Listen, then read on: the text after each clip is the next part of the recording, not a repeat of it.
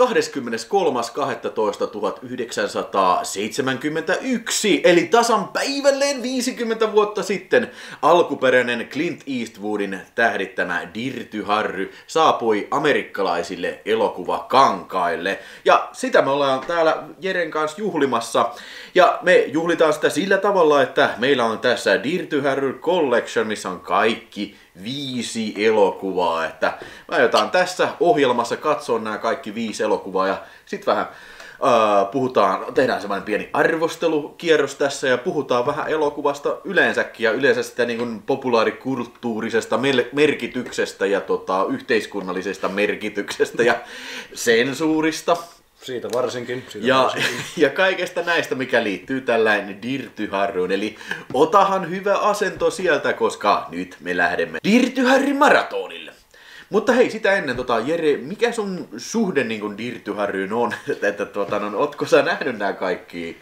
Kyllä, kaikki, kaikki viisi on tullut nähtyä monta monituista kertaa ja tota, sanotaan nyt näin päin, että mulla on erittäin erittäin syvä suhde nimenomaan ensimmäiseen ja viimeiseen Dirty Harry elokuvaan. Eli tota, totta kai pidän niistä kaikista, kaikista viidestä hyvinkin suhteellisen tasapuolisesti, mutta nämä kaksi on varsinkin semmosia, millä on erityinen paikka henkilökohtaisessa Joo. historiassa. Kos, osaatko arvioida, koska viimeksi olet katsonut? No ensimmäisestä Dirty Harrystä ei ole itse asiassa edes hirveän kauaa. Siis sanotaan, että vuoden sisällä on Joo. nähnyt sen viimeksi ja okay. jatko-osat on varmaan tässä viimeisen kymmenen vuoden aikana. Että ne tuli aikanaan katsottua melkein tasaisin väliajoin. Mutta nyt se on tietysti jäänyt tälle aikaisaatossa. Joo. Mä en ole ihan varma, siis musta tuntuu sillä että niin kun, kun mä ostin tämän Dirty Harry Blu-ray Collectionin, niin saattaa olla, siis, mä oon silloin ne katton. Että siis mulla on tosi kauan aikaa, kun mä oon nähnyt. Niin kuin, mutta siis voi olla, että mä en muista, mutta muista tuntuu, että siis siitä on tosi kauan, että niin kuin, totta kai on nähnyt nämä kaikki ja monta kertaa ne on tullut televisiostakin monta kertaa ja oli DVDllä ja tässä on mun VHS Collection, missä, ei, missä tota, ei ole kaikki ja kaikkihan nämä oli leikattu silloin, mutta tota, odotan ihan innolla tätä maratonia sitten, että eiköhän aloiteta tää urakka sitten, että päästään sitten joulun viettoon myös. Magnumit tanaa.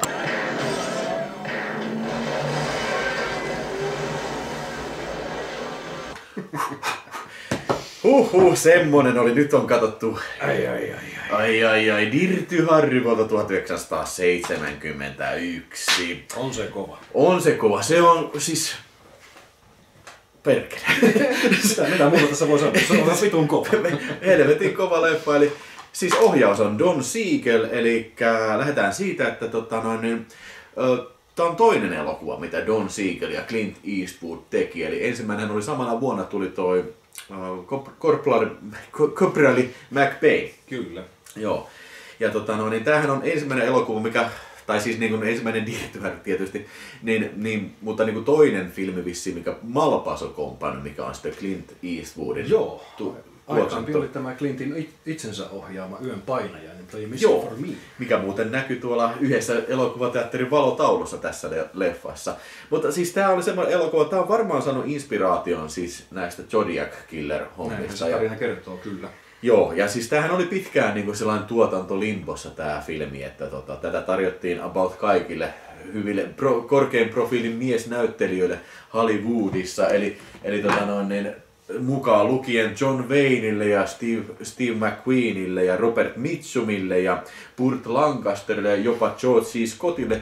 Ää, ainakin George C. Scotti on sanonut tuota haastattelussa, että tota, no, niin, ei saakeli, että liian väkivalta, liian tämmöinen fasistinen ja tämmöinen hmm.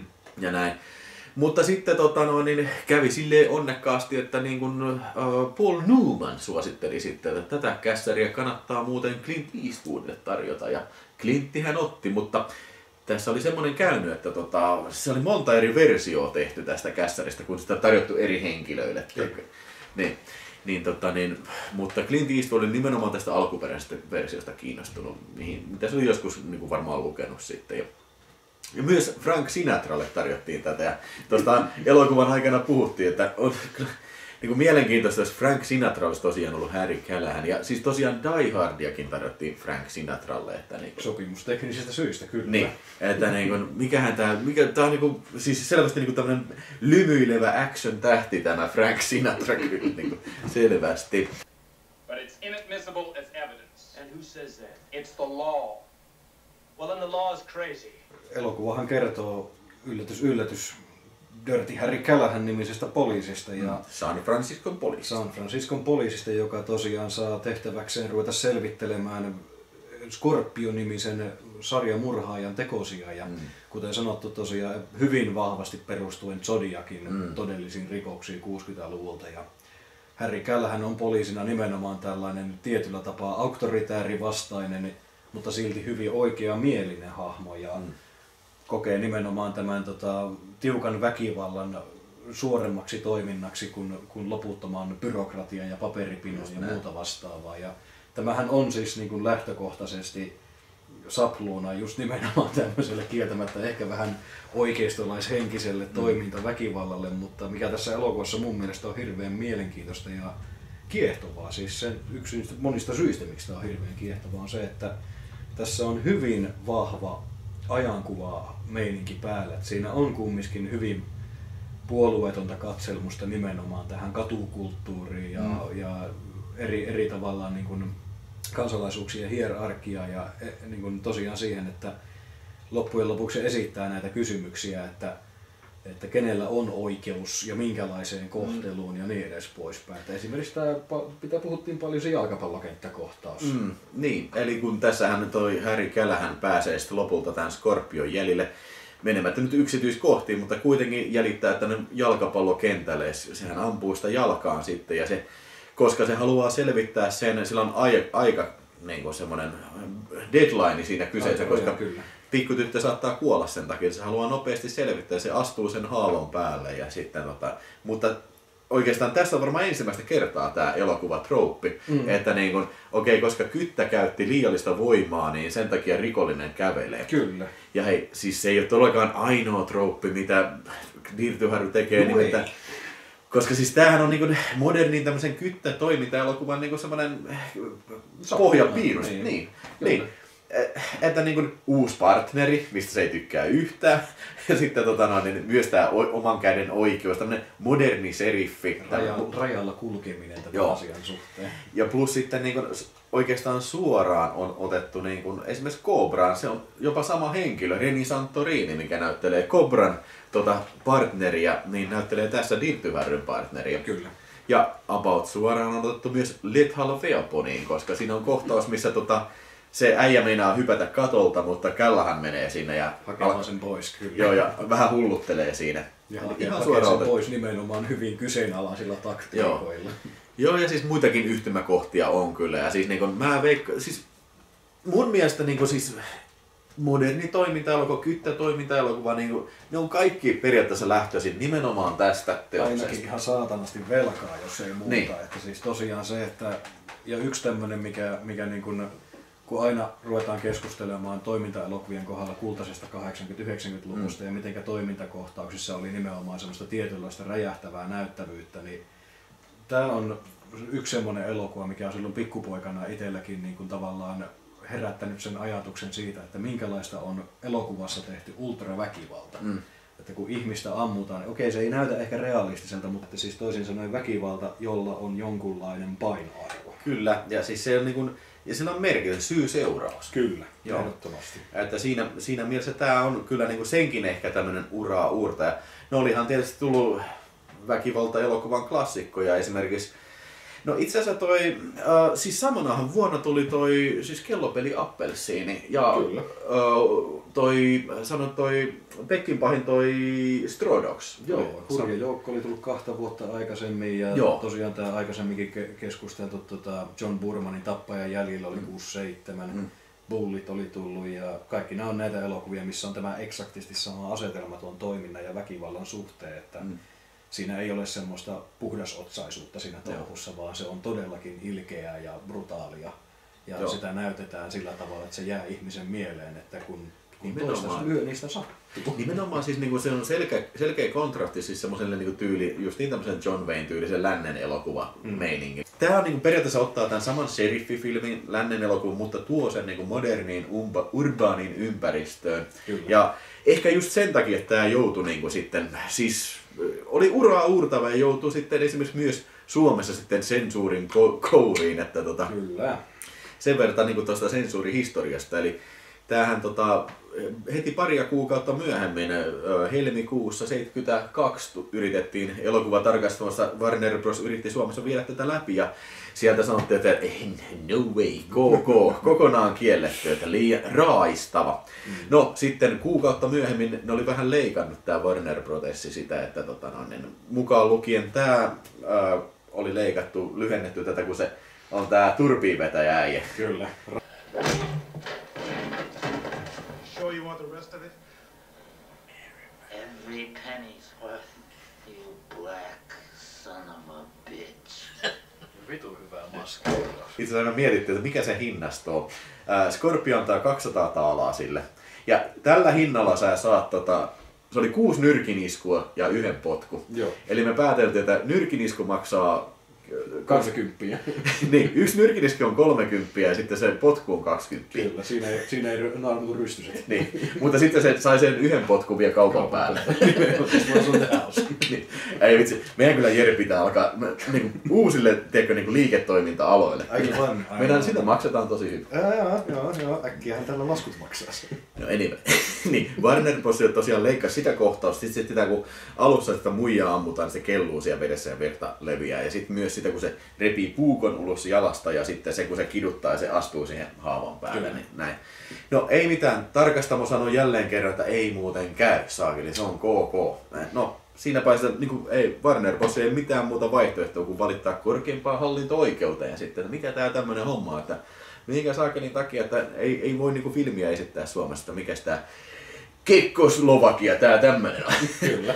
No mutta sitten vasta syksyllä niin sitten toi korkein ha- hallinto-oikeus antoi sitten päätöksen, että ei ole raastava filmi, mutta että palauttakaa tämä tota, elokuvatarkastamolle, mutta he saavat kuitenkin vielä arvioida se, että käytetäänkö tähän niin sanottua rangaistusveroa. Korkein mahdollinen 30 Joo, prosenttia. kyllä, korkein ma- mahdollinen ko- veroprosentti tuli sieltä, eli, mutta sen verran yllättävä oli päätös 20.10.72, eli K16 ikäraja tuli kuitenkin, vaikka sitä oli tämä leikattu versio, tämä on leikattu versio, pari minuuttia leikattu versio, mutta sama versio ymmärtääkseni, mitä oli elokuvateattereissa. Ja sitten lopulta sitten tota noin, niin, ää, viides ensimmäistä 1973 tämä elokuva pääsi lähes vuoden jälkeen sitten tota, pääsi vasta heti su- suomalaisille tota, elokuvateatterille. Ja tosiaan rangaistusvero oli 30 prosenttia huonon sisällön ja heikon siveellisen laadun vuoksi. Mä kirjoitin sen oikein ylös. Se on heikko siveellinen tuo, laatu. tuo on hyvä siteeraus silleen, kun ottaa huomioon. Joo. Siis mikä on se hauskinta on tässä se, että, että tavallaan itse elokuva ei ole tältä aspektilta vanhentunut, mutta tämä lausunto on vanhentunut siinä suhteessa, että niin kuin mitä, mitä voidaan niin kuin tämän elokuvan perusteella, kun sitä katsotaan tällä 2021-50 vuotta myöhemmin, niin mitä on nämä niin kuin huonot, huonot tosiaan arvot ja laadut, mitä huono sisältö ja heikko siveellinen laatu, niin elokuvassa on, siinä on käytännössä katsona striptease-tanssia, siinä on homoseksuaaleja tissit näkyy. Niin, niin se on jotenkin tälle, että nämä asiat on ollut niin kuin silleen, tosi tosi vitun paha asia silloin Mulla, mä, 50 oon- vuotta mä oon aivan varma, että suomalaisissa elokuvissa näkyy kyllä tissejä. Hyvin suurella todennäköisyydellä, että tästä voidaan niin kuin päätellä tosiaan se, että jossakin Mika Valtarin kirjoittamassa tota, Noita palaa elämää elokuvassa, mikä on Siinä on 50. tissit. Siinä on full frontaali ihan Mm. täysin. Ja ei ole muuten ainoa sen Niin. ajan elokuva, että suomalaistyttöjä Tukholmassa ja mitä näitä kaikkia muita onkaan, että niin kyllä sitä alastomuutta on ollut huomattavasti siellä Suomi-filmin kulta-ajallakin, että tästä voi joku vaan niin kuin miettiä, että onko nyt sitten mahdollisesti nämä homoseksuaalit, jota, jotka ovat sitten hanganneet niin pahasti vastakarvaa silloin, että En tiedä. Se voi olla. tiedä. Ehkä kenties tämmöinen San Franciscolainen liberalismi oli todellakin liikaa sitten näin härmän pojille, jotka katselevat työkseen elokuvia. Päättävät, onko ne sopivia suomalaisen yleisö. Mutta siis jos puhutaan huonosta sisällöstä, niin mä oon aika eri linjoilla nimittäin. Tämä on erittäin hyvää sisältöä. On. Siis niin kuin, jos puhutaan ihan teknisiltä Siis meriitteiltä, siis upea laajakangas kuvaus. Valitettavasti nyt en tiedä, kuka tämän on kuvannut. Kyllä mä melkein väitän, että Siegeliä on enemmän kiittäminen tuosta kuvauksesta siinä Joo. suhteessa, että se on kumminkin, kun katsotaan Siegelin elokuvia, niin näitä samoja sommitelmia näkee Mm. mm. todella paljon, mistä just puhuttiin tuossa elokuvan aikana, että mm. isoja laajoja kuvia, missä on todella paljon aktiivisia mm. yksityiskohtia. Kyllä. ja päähenkilö kävelee sen kokonaisuuden läpi ja sitä rauhallisesti seurataan ja siinä on rakennettu kokonainen helvetin maailma sen ympärille. Niin siinä on jotakin, jotakin todella kiehtovaa, Mm. hypnoottista jopa siinä kokonaisuudessa. Ja plus se, että niin kuin kamera liikkuu silloin, kun sen tarvii liikkua. Juurikin näin. Eli siis todella hyvää kameran työstöä. Ja tota noin, niin, siis se, että Lalo Sifrinin musiikki. Eli, Kyllä. eli siis puhutaan hetki Lalo Sifrinistä, eli siis veteraanimusiikin tekijä. Uh, tunnetaan muun muassa Mission Impossible, tämän ty, ty, ty, ty, ty, ty, ty, ty, ty, Yksi ty. kuuluisimpia töitä, joo. Niin se on tehnyt sen Bulletin soundtrack, mikä Bulletin. on vähän tämmönen myös kyttäelokuva, pari vuotta aikaisemmin tehty. Mutta eh, se on erilainen kyttäelokuva, On, mutta joo, kuitenkin. joo. Ja sitten mitä muuta sitten, Enter the Dragon. Totta, se on muuten Enter the Dragoninkin tehnyt, joo. Öö. Oliko eka Death Wish, muistanko väärin? Öö, ei, se on toi Bernard, äh, ei kun toi, satana, se jatsmuusikko toi, siis ei, Herbie Hancock. Joo, Joo, kyllä. on. Aivan. Mutta tota no niin, Class of 84, laatufilmi Mark L. Lesteriltä, siinä on tehnyt Mä olin tuonkin unohtanut, se on muuten ihan totta. Joo. Mutta siis pointti on se, että Lalo Schifrin on erittäin kova veteraani, mutta siis tämä on varmasti yksi sen tunnetuimpia On. teoksia. Että siis Di- Dirty Harryn tämä biisi on erittäin hyvä. Mä en ihan varma, soiko tämä sama biisi seuraavissa elokuvissa? Mun mielestä ei. Niin. No, siis. Lalo Schifrin on kyllä tehnyt siis tuleviin Dirty Harreihin. Ainakin vitoseen on tehnyt tosiaan musiikit. Ja tota, mun mielestä te, teki kyllä johonkin muuhunkin, Mm. mutta siis samaa tunnaria ei kyllä mun mielestä käyttänyt. Joo. Joo. Mutta siis kuvaus mahtavaa, äänit mahtavaa ja sitten niin näyttely. Siis jumalauta, meillä on puhuttu Clint Eastwoodista paljon mitään, mutta siis hei, on. Mm. Tää on selvästi Clint Eastwoodin signature role. Kyllä. Siis ja se on paljon sanottu. On Meinaan, siis, jos on joko tämä tai sitten Man with No Name, että siis ne niin, niin vahvasti kamppailee siitä, että kumpi se loppujen lopuksi on, mutta kyllä mä väitän, että populaariskulttuurillisilla vaikutteilla, niin se on todennäköisesti Mm. tämä. siis jos niinku randomi tyypiltä kadulla, sata otetaan, ota, otetaan sadan otanta ja niiltä kysytään, että mikä sun mielestä on, niinku, tai nimeä yksi Clint Eastwoodin näyttelemä hahmo. Mä veikkaan, että suurin osa varmaan, isoin prosentti saa niinku Dirty Harry. Kyllä. Kyllä, luulisin näin. Mutta tota noin, en- hei, siis tää on mun, mun on niin vaikea kuvitella ketään muuta tähän Frank Sinatra. Frank Sinatra, John Wayne, vittu kuinka... Siis niin kuin, oikein mä oon katsonut John Wayneilta oikeastaan vaan yhden elokuvan, se on se Brannigan terästä nyrkeissä, mikä on vähän samantyylinen. Sehän on ihan täysin Dirty Harry riippuu. niin, paitsi vaan Lontoossa. niin, mutta niin kuin, siis mun on niin... Eh, come on, tää dude, niin kuin, ei se voisi mitenkään korvata niin kuin Harry Callaghania. Niin kuin, Ei, ei kyllä suoraan, ei. niin. Ja no okei, Steve McQueen mä voisin kuvitella. Siis Bulletin takia sen voisi kuvitella, mutta on sekin tuohon aikaan Steve McQueen on ollut ehkä, mm.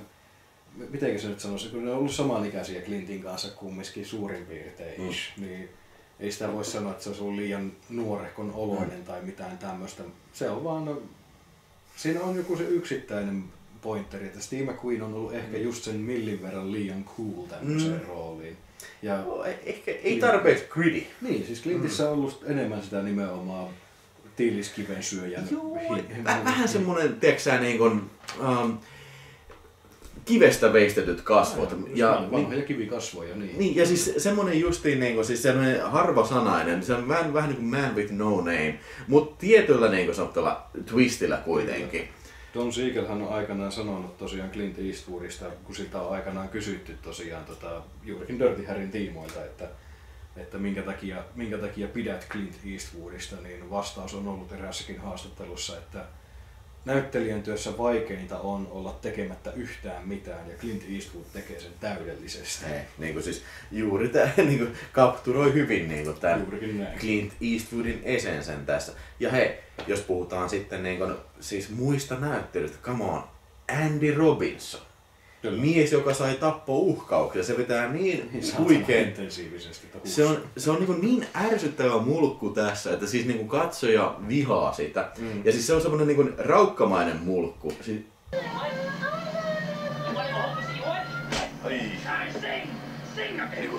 et ikinä näkisi tänään tommoista. Siis niin kuin, se on kaikki ne ominaisuudet, mikä tekee niin kuin, just niin kuin sä, kun sä katot sitä, niin sä oot, vittu, toivottavasti se saa kuulosta. mutta mutta niin kuin siis se on just se, että niin kuin mitä elokuvan tekijät pelaa tässä justiin, sen, ne luottaa siihen, että katsojat inhoa tätä yli kaiken, mm. joten sä voit hyväksyä tämän kaiken, mitä Dirty Harry tekee. Joo, ja siis yksi sellainen asia, mikä pitää just se antaa Robinsonin ja lajissansa myös varmaan Siegelinkin kunniaksi, että tota, tämmöisiä, tämmöisiä tota, yliampuvia pahiksia kun tehdään, niin siinä on todella, todella, todella suuri kiusaus vetää se up to 11, jolloin mm. se ei enää toimi. Mm. Et se tulee, tulee tämmöisiä niin kuin Steven Seagal-elokuvaa pahiksi ja muita vastaavia, jotka vaan niin kuin, no, niin kuin suoraan jostakin sarjakuvasivuilta. Joo, mutta se, niin tuossa Andy Robinson, siinä on mitään hauskaa. Ei, ei, ei, siis nimenomaan se pitää sen täydellisesti hallussa. Se on yliampuva, mutta se on nimenomaan Joo. sen verran yliampuva, että se on vielä palvelee sitä kokonaisuutta. Kyllä, joo, siis erittäin onnistunut hahmo. Ja siis tuossa kun puhuttiin niin siis saman vuoden niin kellopeli Appelsiin, mikä my- myös oli Warner Brosin levittäminen. Mun mielestä siis mulla het, jotenkin naamasta niin kun, ne on niin samannäköisiä kuin Alex tuossa kellopeli Appelsiin, siis toi Malcolm Kyllä. McDowell ja sitten Andy Robinson Scorpiona tässä. Niin, niin mä en tiedä, jotenkin niissä on kummassakin vähän samanlaista sellaista nihilismiä ja vastenmielisyyttä. Että niin kuin, mä en tiedä, jotain siinä niin kuin vesijohtovedessä oli vuonna 71. Että, että tuota, tuli näitä kierroon katsovia ihmisiä. Tuli, tuli niin kuin tämmöisiä hyviä pahissuorituksia, että en mä sitä oikein osaa selittää, mm. mutta niin kuin, äh. Ei mitään, siis mun mielestä Clint, Clint Eastwood tekee elämänsä roolin vittu, siis 70-luvun parhaimpia filmejä he Ihan, ihan niin kuin amerikkalaisista nyt aina niin, niin menee niin. parhaisiin 70-luvun elokuviin. Ja tota, melkein tuntuu tyhmältä silleen ruveta kysymään, että minnekä asettaa tämän Dirty Harry elokuvia asteikolla. Kyllä hän on suvereenisti se paras on. Helposti. Ihan päivänä minä hyvänsä. Helposti. Mutta jos sun pitäisi arvosana antaa, niin mitä sä antaisit? Mä, mä pelkään, iki, mä pelkään ikinä antaa viittä tähteä, eli mä annan sen turvallisen neljä ja puoli ihan sen takia, että siellä on aivan sata varmasti jotakin, mitä mä en pysty objektiivisesti niin kun arvioimaan silleen. Niin... Eikö silloin jos pitäisi antaa viisi No teoriassa joo. mä yritän olla vaan rehellinen. Minä annan viisi tähteä ja, ja hei, nyt sitten on ehkä seuraavaksi aika sitten mennä penkomaan näitä jatko-osia sitten kyllä, että kyllä. Tota, no niin, we are in for a treat.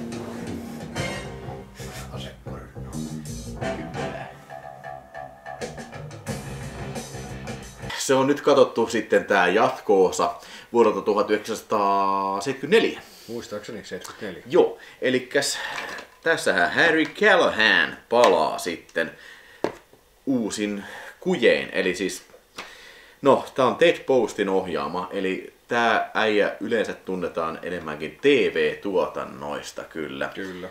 Ja no, Mä en ainakaan tiedä, mulla ei mitään faktaa tästä, mutta niin vähän epäiltiin, että onko tämä toiminut vähän niin kuin Clint Eastwoodin vähän semmoisena, tiedätkö Onhan se, se on hyvin suurella todennäköisyydellä näin. Siis Clinttihän harrasti nimenomaan tätä hyvinkin paljon aikanaan 70-80-luvulla, että tota, pisti, pisti tosiaan jonkun oman stuntmiehensä tai ADnsä tai kameramiehensä tai jonkun muun vastaava ohjaamaan elokuvan puolestansa, mutta todellisuudessa ohjasi sen sitten itse ja mm Tästä ehkä kuuluisimpana käytännön esimerkkinä on tämänkin elokuvan käsikirjoittamiseen osallistunut herra nimeltä Michael Cimino. Joo. Ja Ciminon ensimmäinen elokuvahan oli Clint Eastwoodin tämä elokuva Thunderbolt and Lightfoot ja, Lightfoot ja tosiaan kyseisessä elokuvassa, mitä Siminon haastattelua olen lueskellut, niin kyseinen herra oli kovasti sitä mieltä, että ihan kiva kokemus, mutta vittu kun se Eastwood olisi antanut ohjatakin se elokuvan. Niin. Joo, mutta siis tämän on käsikirjoittanut toi Michael Cimino ja sitten toi, toi, toi, toi, toi John Milius. John Milius. Eli nämähän on näitä Wonder Kidsia sieltä, niin kuin, vähän niin kuin samoista kouluista, mistä Spielberg tuli ja George Lucas kanssa. Ja, tota, no, niin, mm.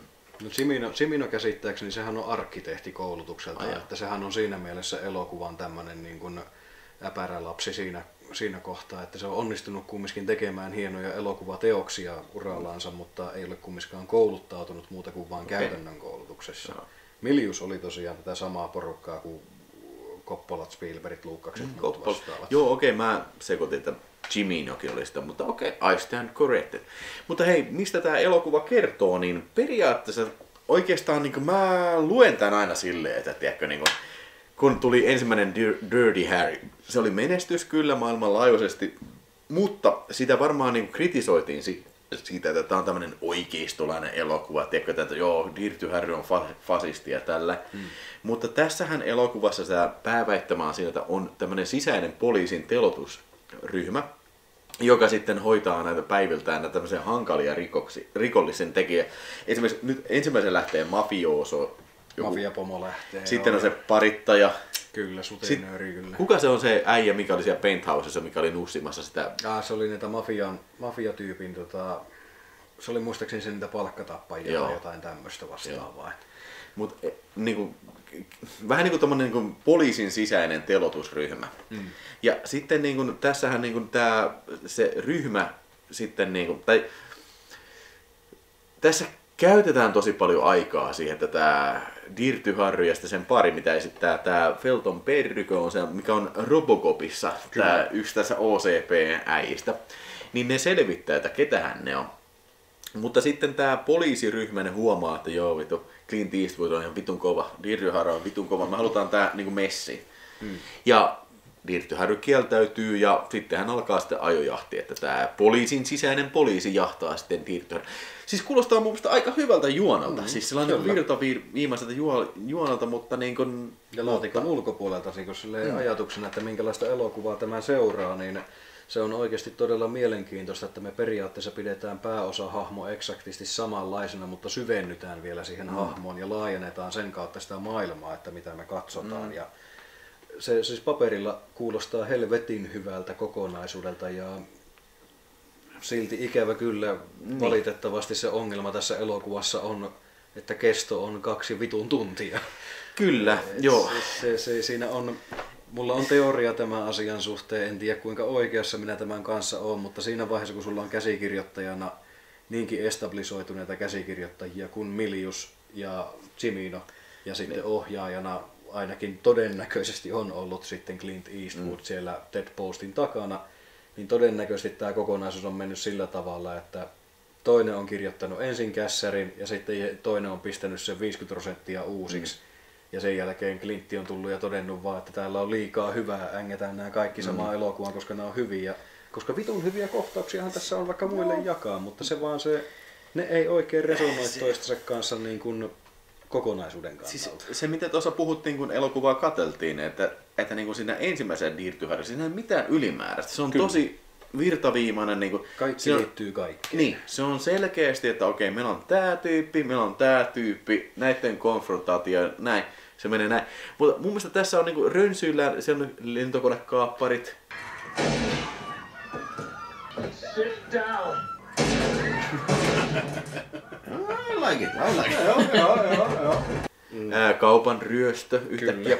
Ja sitten tulee ampuma, niin kuin se ratakohtaus, Viettelevä naapuri. viettelevä naapuri ja sitten se, tiedätkö, niin kuin sen, se kyttäkaverin, jota epäillään siitä, että se on tätä vigilanteporukkaa, sen vaimo yrittää iskeä. Siis kaikki tämmöistä, niin kuin, mm. siis liikaa vähän tämmöistä sälää ja niin kuin sitä mun mielestä hyvä punainen lanka. Kyllä. Se uppoo sinne tämän Erittäin kaiken hyvä. tämän taukkan alle.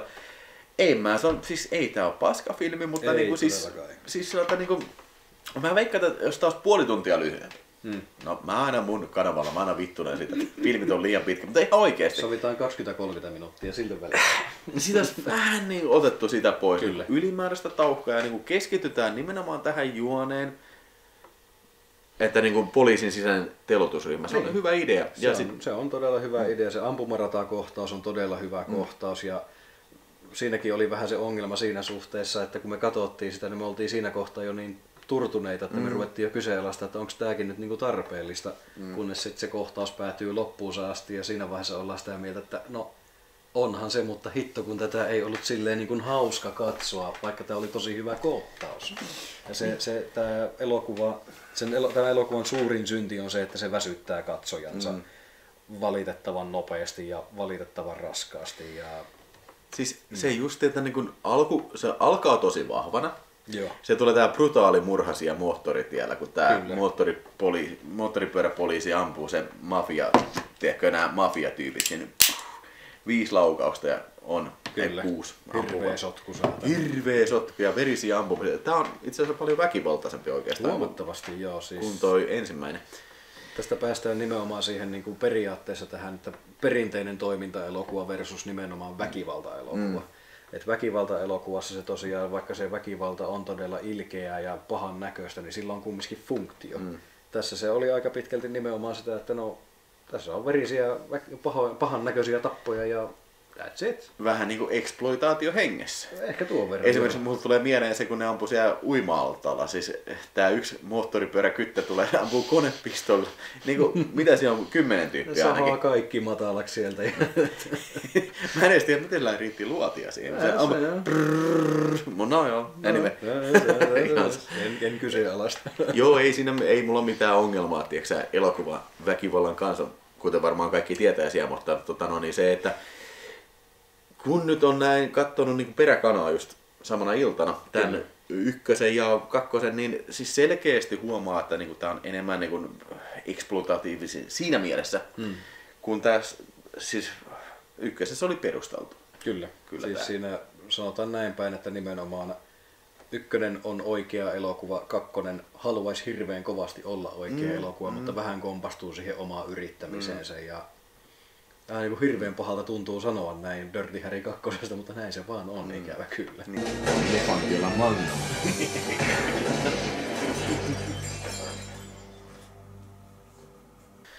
Mutta se on sikäli ihme, että siis tää on tosi väkivaltainen verinen sinne, mutta niin tämä ei joutunut Suomessa kiellettyjen listalle, vaan Joo. niin kuin, tämä tuotiin leikattuna.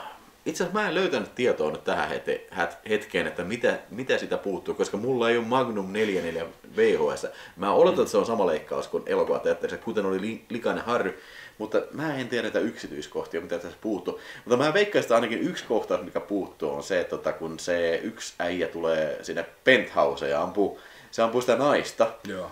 Ja se menee ikkunan läpi se nainen ja sitten se tipahtaa. Se nukke tipa, selvä nukke tipahtaa sieltä. Ja Se on se, Siis se ajatuksena oli- aika kauhea kyllä, mutta vähän tekotavalla aika huvittava Joo, kyllä. siis se- oli vähän semmoinen näitä pieniä hetkiä ihmisen elämässä, kun sä näet elokuvassa jotakin semmoista, että sä et oikein osaa päättää, että oliko tämä nyt ihan vitun siistiä vai vitun kömpelö. Että mm. Tavallaan mä ymmärrän sen, että jos aikuinen ihminen putoo äh, pitkän pudotuksen parvekkeen kaiteelle, se lösähtää, se näyttää totta kai semmoiselta niin Niin, kuin niin. Stretch Armstrong nukeelta. Mm. Se on ihan normaalia, mutta näyttääkö se elokuvassa hyvältä, niin en tiedä. Se näytti vähän nukelta kyllä. näytti vähän nukeelta niin, niin. Hei, musiikit oli taas tehnyt toi ää, Lalo Schifrin. Kyllä. Ja siis vähän saman tyyliset, mutta ei ole samanlaiset. Se, joo, sillä tapailtiin yhdessä kohtaa, kun se kaivoi sen luodin sieltä ampumaradalta, niin siinä vähän tapailtiin sitä ykkösen, kun se löytää sen hylsyn sieltä katolta. Mm. Vähän samaa teemaa, mutta muuten oli kyllä hyvin erilaista. sit huomasitko siinä. muuten siinä, kun tää loppu, kun se tota no niin, loppukliimaksi tulee, niin sitten oli sama musiikki siinä, kun... Lopputeksteissä, kun se zoomaa ulos. Niin, Kyllä. ja sitten kun ykkösessä oli se, kun ne löytää sen tytön ruumiin sieltä, oli se Joo. sama semmoinen urkumusiikki. Kyllä. Niin, se oli varmaan ainoa, en nyt pistä tästä päätäni pantiksi, oliko se ainoa sama mu- musiikki, mutta kuitenkin ihan hyvät musiikit, mutta ei läheskään mun mielestä niin ikoniset kuin tuossa ensimmäisessä. ei, siis, mm. Se on Ja- vähän, vähän niin kuin koko muukin elokuva, että ei läheskään yhtä ikoninen kuin edeltäjänsä, mm. mutta, mutta hyvin samanlainen kumminkin jossakin määrin. Ja jos puhutaan niin kuin, kun mun mielestä yksi hienompia asioita tässä ensimmäisessä on nimenomaan Andy Robinson, tämä Scorpio. Joo. Tässä ei ole mitään edes siihen verrattavissakaan olevaa. Okei, mä tajuan, se on aika cool idea, että se on ne, periaatteessa niin ne kasvottomat moottoripyöräpoliisit on mm. niitä, tiedätkö, tappajia. Niitä on kolme kappaletta tossa. Neljä. Oliko neljä? Neljä, kyllä. Niin kuin niin se, joo, joo. No, Mutta anyway, ja sitten poliisipamppu, mm. joka sitä johtaa. Kyllä. Vai lasiksi ja sen neloseksi. No, ei, se on, se on sitten ihan erikseen. No okei, okay, okei. Joo. Mutta niitä on viisi pahista. Joo. Mutta niin kuin, kukaan näistä ei ole niin kuin, läheskään niin kuin, semmoinen persona kuin Scorpio. Mm. Mä en saa missään vaiheessa mitään semmoista fiilistä, että vittu mä kyllä vihaan näitä mulkkuja. Niin kuin, siis, vaikka ne tekee ilkeitä. Mm. Mutta niin kuin, kukaan niistä ei oikeasti semmoinen evil äijä. Ei, ja siis mä vähän uskon, että tässä olisi ollut tarkoitus. Tässä nähdään se, mä en ehkä nyt taas halua sanoa tätä ääneen, mutta Mutta tässä nähdään ehkä se varhainen Clint Eastwood ohjaajana ja hänen vajavaisuutensa, koska siis musta tuntuu, että tässä olisi niin käsikirjoituksen perusteella pitänyt jopa tykätä näistä poliiseista. Mm. Ja sen takia Joo, susta ei. tuntuu pahalta, kun sä näet, että nämä on niitä pahiksia ja nämä rakastettavat hahmot, mitkä on hyvä kaveriporukka ja Clintin kavereita ja kaikkea tämmöistä, mutta mikään siitä ei välity Ei, läpi, ei, ei niinku pätkääkään, ei joten ne, ne jää vaan silleen Tommo Finlandin näköisiksi äh, pahislaumaksi. Se on se suurin tavallaan saavutus siinä muistettavuudessa. Nimenomaan Tomo Finland-tyyppi. Kyllä. Mut vähän niinku... Musta tuntuu, että siis tää leffa niinku yrittää ottaa kopin siitä se kysymyksestä, mitä ensimmäinen Dirty kysyy se, että niinku, onko oikein, tiedätkö sä, niinku, jos sä tiedät, että joku on tosi niinku tämmönen lain rikkoja ja siis semmonen niinku yhteiskunnalle vaaraksi, onko oikein ottaa koppi sitä, mennä vaan niinku ilman lakia ampuu. Kyllä. Niin se niinku vastaa siihen kysymykseen. Tai ainakin yrittää. Mm. Mutta sitten taas tämä elokuvan päähenkilö kuitenkin on, hän kuitenkin suojelee lakia. Kyllä. Luottaa systeemiin, mikä on hänen mielestään täysin perseestä, mutta mm. it's the best we've got so Niin. far. Ja musta tässä on mu- muutama kohtaus on semmoinen, mikä niin kuin liikaa vääntää rautalangasta tätä mm. hommaa. Mun mielestä tässä ensimmäisessä ei ole mitään semmoista, niin kuin, että se niin kuin, yrittäisi selittää katsojalle tai niin kuin pureskella sun puolesta. Mutta mun mielestä tässä on ainakin kaksi kohtausta, missä vähän se expositio-homma. Mm. Joo. missä niin Dirty Harry Callahan selvästi sanoo, mitä hän on mieltä tällä. Ja... Mm. Se, se on juurikin näin. Se on se, se on se, kun se ensimmäistä kertaa ko- konfrontoi tosiaan nämä moottoripyöräpoliisit silloin, kun he tulevat se ehdotuksensa kanssa. Ja sitten se on se toinen kerta, kun se juttelee tämän poliisipomon kanssa sillä autossa, niin mm. mä tavallaan, tiedätkö, tykkään niistä hetkistä, koska niissä näkyy se John Miljuksen anarkismisysteemiä vastaan, että se on vanhoillinen ihminen ajatusmalliltaan, mutta se on myös samaan aikaan anarkisti siinä mielessä, että ei se pure, purematta niele ihan kaikkea paskaa, mitä niin kuin systeemi pakottaa nielemään. Joo. Siinä mielessä mä tykkään sitä ajatuksesta sen taustalla, että tästä, tämän kanssa voisi leikkiä loputtomiin, mutta sitten tosiaan se, että se on loppujen lopuksi aika pitkälti just sitä ekspositiota. Mm. Nyt selitetään mm. tämä väännämme Vähän rautalangasta sen, että mitä niin kuin periaatteessa jo sinä tiedät, mutta... Mm. Niin. Se just tätä, jos meidän pitäisi leffa korjata tää Raulin tyyli, niin tota no, niin siis mä lyhentäisin tätä sen 20 puoli tuntia, 20, 20 minuuttia viiva 30 minuuttia, niin tota no, niin, ja myöskin niin, siis kaikki tämmöiset selitteet poistaisin. Mm. Ehkä vähän yrittäisin niin kuin flesh out tätä, tätä vielä tätä niin kuin punaista lankaa siitä, että jotenkin, että niin kuin tuodaan esille tämä nimenomaan tämä vastakkainasettelu. Se pitäisi, kun me, kun me katsottiin tätä leffaa, niin sen pitäisi tapahtua sen kohtaamisen siellä parkkihallissa, kun nämä poliisit tulee juttelemaan sitä, että hei me halutaan sut meidän tiimiin. Mm. Sen pitäisi tapahtua niin paljon aikaisemmin tässä. Ihan huomattavasti aikaisemmin. Niin. Niin. Joo. Tuossa vaiheessa, kun tämä suuri twisti tulee, että ne haluaa källä hänin puolelleensa, niin mm. katsoja on jo periaatteessa niin turtunut, että ei se, se ei tunnu enää twistiltä, vaan se tuntuu siltä, että fucking finally. Mm. Viedäänkö tämä nyt vihdoinkin loppuun? Aitetaan vielä tunti jäljellä. Niin, vielä, tunti, vielä tunti on, mutta niinku, mm, Niin. Liian pitkä. Mutta niinku, siis, no, jos mun täytyy arvosana sanoa, niin siis kol, kolme, kolme kautta viisi. No, 3 kautta 5 on ihan hyvä.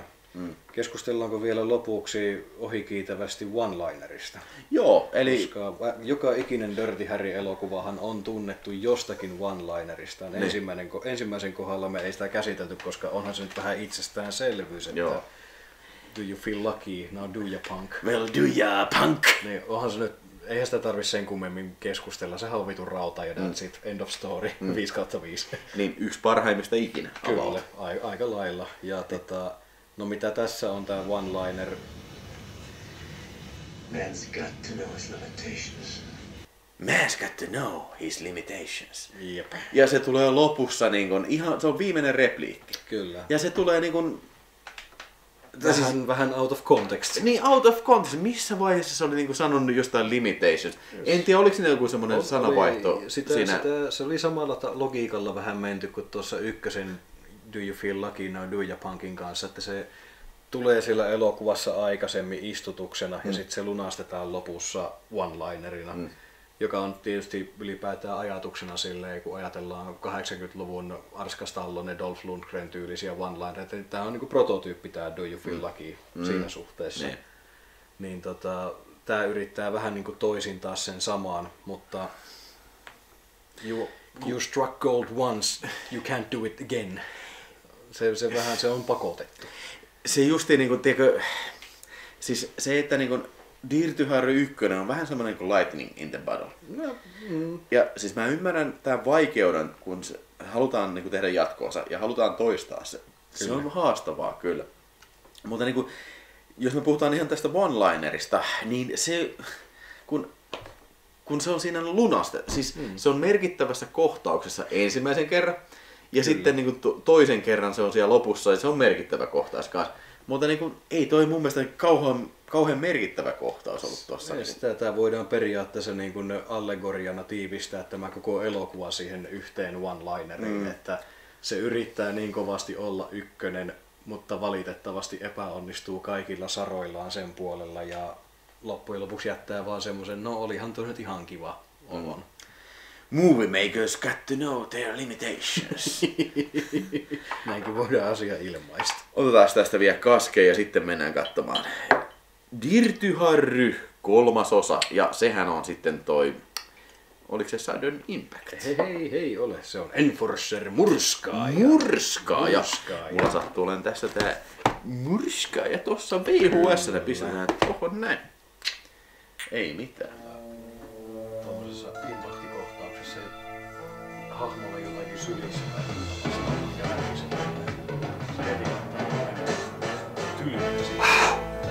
Se oli siinä kolmas elokuva Dirty Harry Saagasta. Hei, päivä on kuitenkin vaihtunut. Me ei tätä niinku samana päivänä kuvattu, jos siellä jo nokkelimmat arvaskin ehkä, koska meidän paidat on va- vaihtunut. Ui, ui, ui, ui, se on Dirty Harry, Dirty Harry Twins olla. Kävi niin, että tota, mä tilasin meidän, nämä paidat, tota, no, ne, meidän piti olla ku- kummassakin jaksossa ne päällä, mutta yllättäen ne jäi Suomen tulliin sitten, kun ne tuli UKsta, mitä en tajunnut, niin ei kerännyt viime kerralla, mutta onneksi kerkesi tähän jälkimmäiseen osaan. Eli tänään me katsottiin kolmonen, sitten me katsotaan vielä nelonen ja vitonen samana iltana. Huhhuh. Tässä riittää kyllä niin kuin sitten vielä niin kuin punnertamista, mutta eiköhän aloita puhumaan The Enforcerista, eli Dirty Harry kolmannesta osasta. Siinä se on. Jees. Eli tota, tämän elokuvan ohjas James Fargo. Ja se tuli sitten vuonna tuota, no niin, 1976. Näin siinä lukee. Ja tota, tässä elokuvassa sitten tuota, Dirty Harry palaa jälleen kerran San Franciscolaisena kyttänä.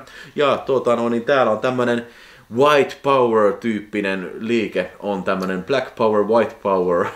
Revo- vallankumouksellinen vastarinta. Sen verran pitää alleviivata, että ei ole white power, että nämä ei ole skinnareita Ei eikä niin natseja. joo, joo. Mutta, tota, mutta siis Kaikki. va- valkoinen radikaaliporukka ja musta radikaaliporukka ja eihän se nyt ihan viittä sekuntia kauemmin mene, kun hoksataan, että kyllä tämä niinku, tää valkoinen porukka on tämän varsinaisen niinku, paskan tekemisen takana mm. ja tämä musta porukka on ihan tämmöisiä, voisiko sanoa, että enemmän, mm. enemmän tota, passiiviseen toimintaan erikoistuneita mm. aatteellisia radikaaleja mm. ennemmin kuin tämmöisiä sitten Niin. näitä, näitä, näitä varsinaisia terroristeja. Mutta joo, ehkä mennään vähän asioiden edelle, sillä filmi alkaa sillä, että nämä valkoiset vastakumous, vastakumous, mitä vallankumousta tekeekään, niin ne ryöstää semmoisen kaasuauton sitten ja tappaa siinä pari tyyppiä samalla. Eli ihan aika iskevä alkukohtaus Kyllä. siinä. Se oli Heti ulot pois, kyllä. erityisen hieno se, kun tota, ammuttiin pumppuhaulikolla tota, sitä yhtä äijää. Nice. Mä pidän hirveän paljon elokuvaa väkivallasta siinä kohtaa, kun jotakin hahmoa ammutaan ja sillä on jotakin aina tolleen sylissä. Mm. se impakti on paljon isompi siinä vaiheessa, kun se konkretisoituu siihen. Ihan sama mitä se on. Tällä nyt oli kaksi kaljapulloa ja ne kuohuen räjähtää siinä samaan aikaan, kun veriskuibit torskaa yli, yli Joo. siitä ja tällä ja jätkä vaijareilla kiskotaan taaksepäin. Kyllä. Niin Tosi- Onhan se nyt näyttävää. Tosi tehokas kohtaus kyllä. Mutta sen takia ne ryöstää sen kaasu auto, kaasufirman kaasufirman auto, auto, joo. että ne menee sitten sen verukkeella pääsee USAn armeijaan johonkin asevarikolle. Ja sieltä Kyllä. ne pöllii ihan sikana aseita.